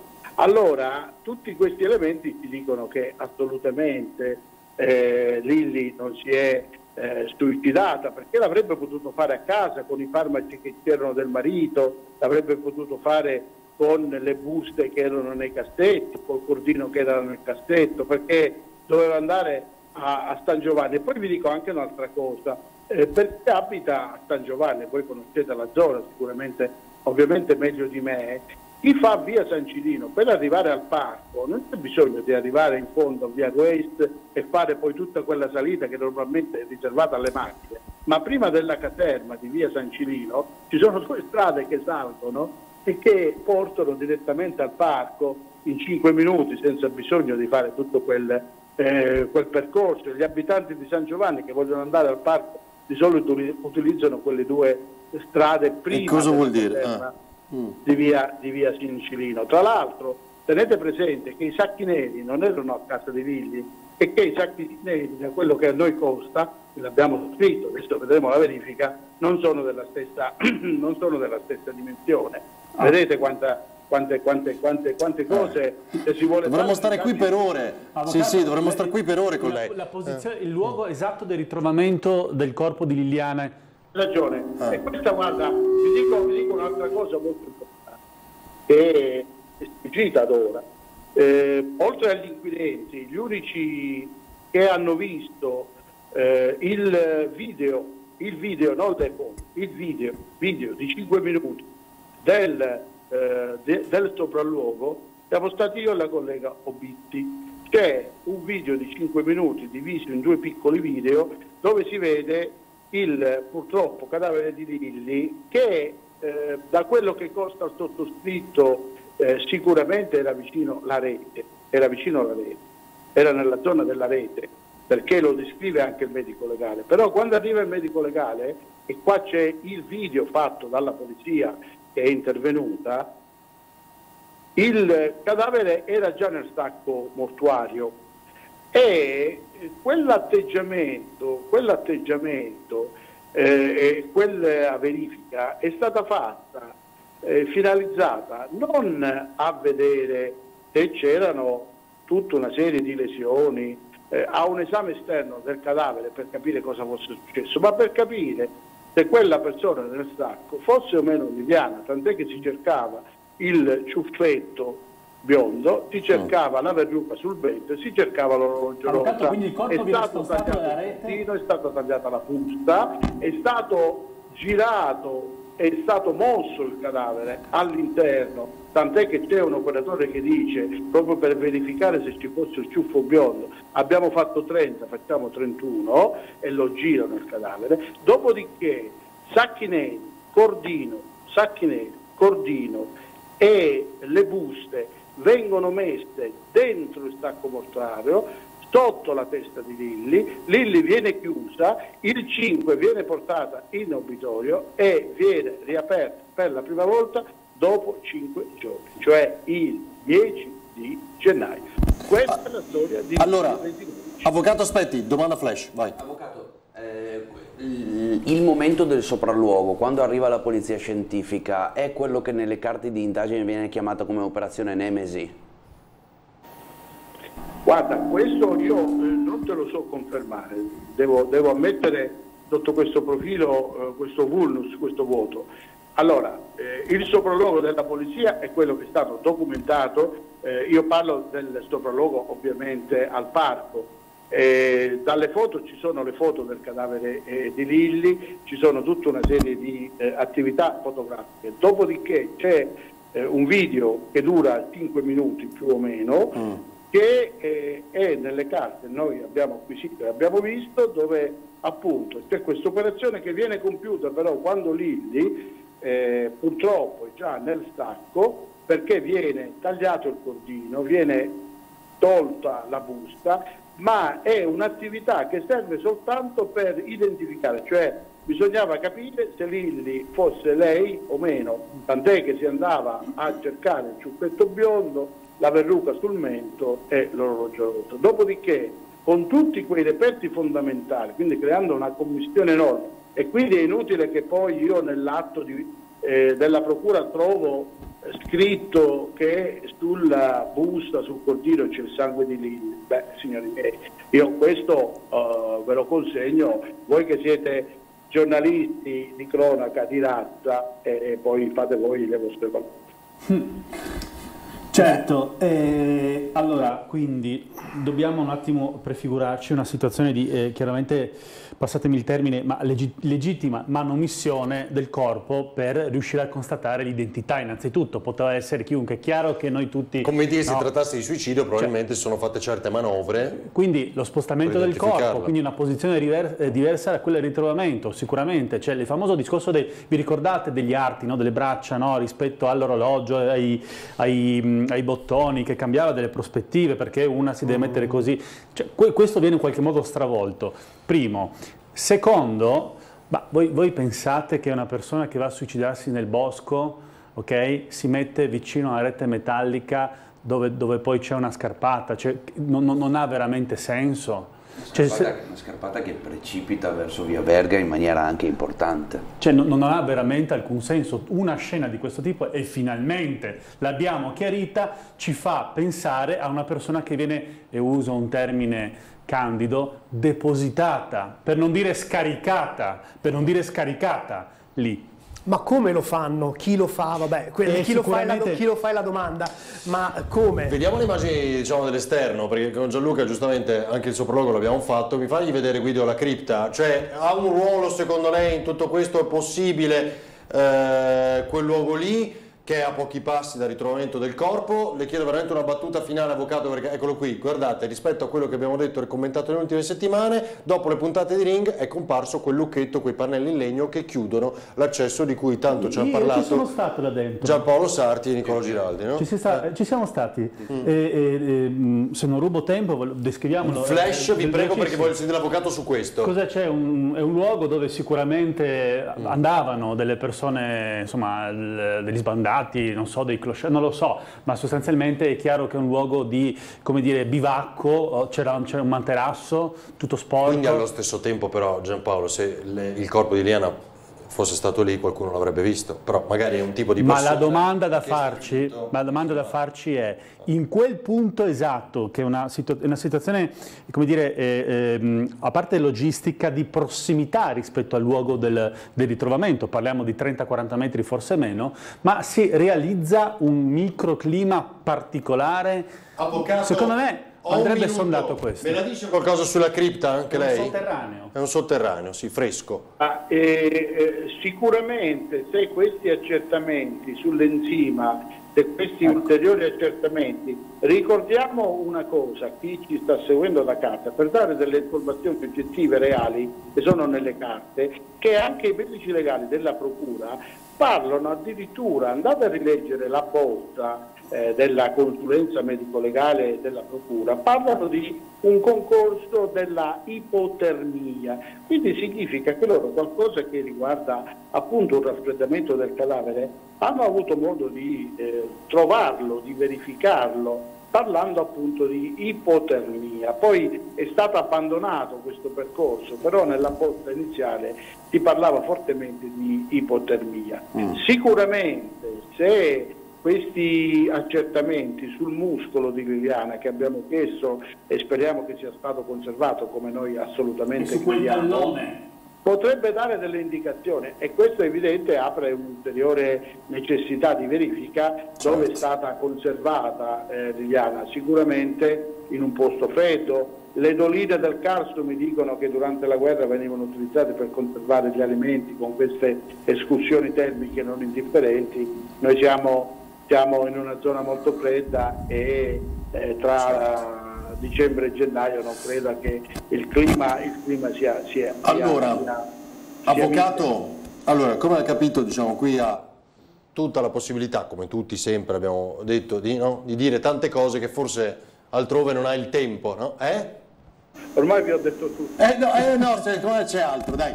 Quindi rivediamoci. Grazie davvero all'avvocato Nicodemo Gentile. Grazie, io voglio, voglio- voglio dire solo una cosa e poi mi fermo. Sì. Voglio ringraziare veramente eh, i giornalisti di Trieste, eh, del piccolo di Trieste prima, voi che state facendo un eh, eh, lavoro molto molto molto bello, dignitoso, coraggioso, coraggioso. Noi siamo per l'accertamento della verità, noi non abbiamo dei pregiudizi e delle ipotesi preconcette, vogliamo collaborare con la Procura, abbiamo una grande stima del procuratore e di tutti gli uomini della squadra mobile, siamo là a servizio e soldati della verità. Senz'altro, eh, partiamo dallo stesso principio. Grazie davvero all'avvocato Nicodemo Gentile che rappresenta fratello Sergio Resinovic, fratello di Liliana e l'associazione Penelope. Grazie a Giampaolo Sarti, Nicola Giraldi, Gianluca Paladin per essere stati con noi. Speriamo, direi senz'altro questa sera qualche elemento in più lo abbiamo messo. Grazie a tutti, buonanotte da Ring.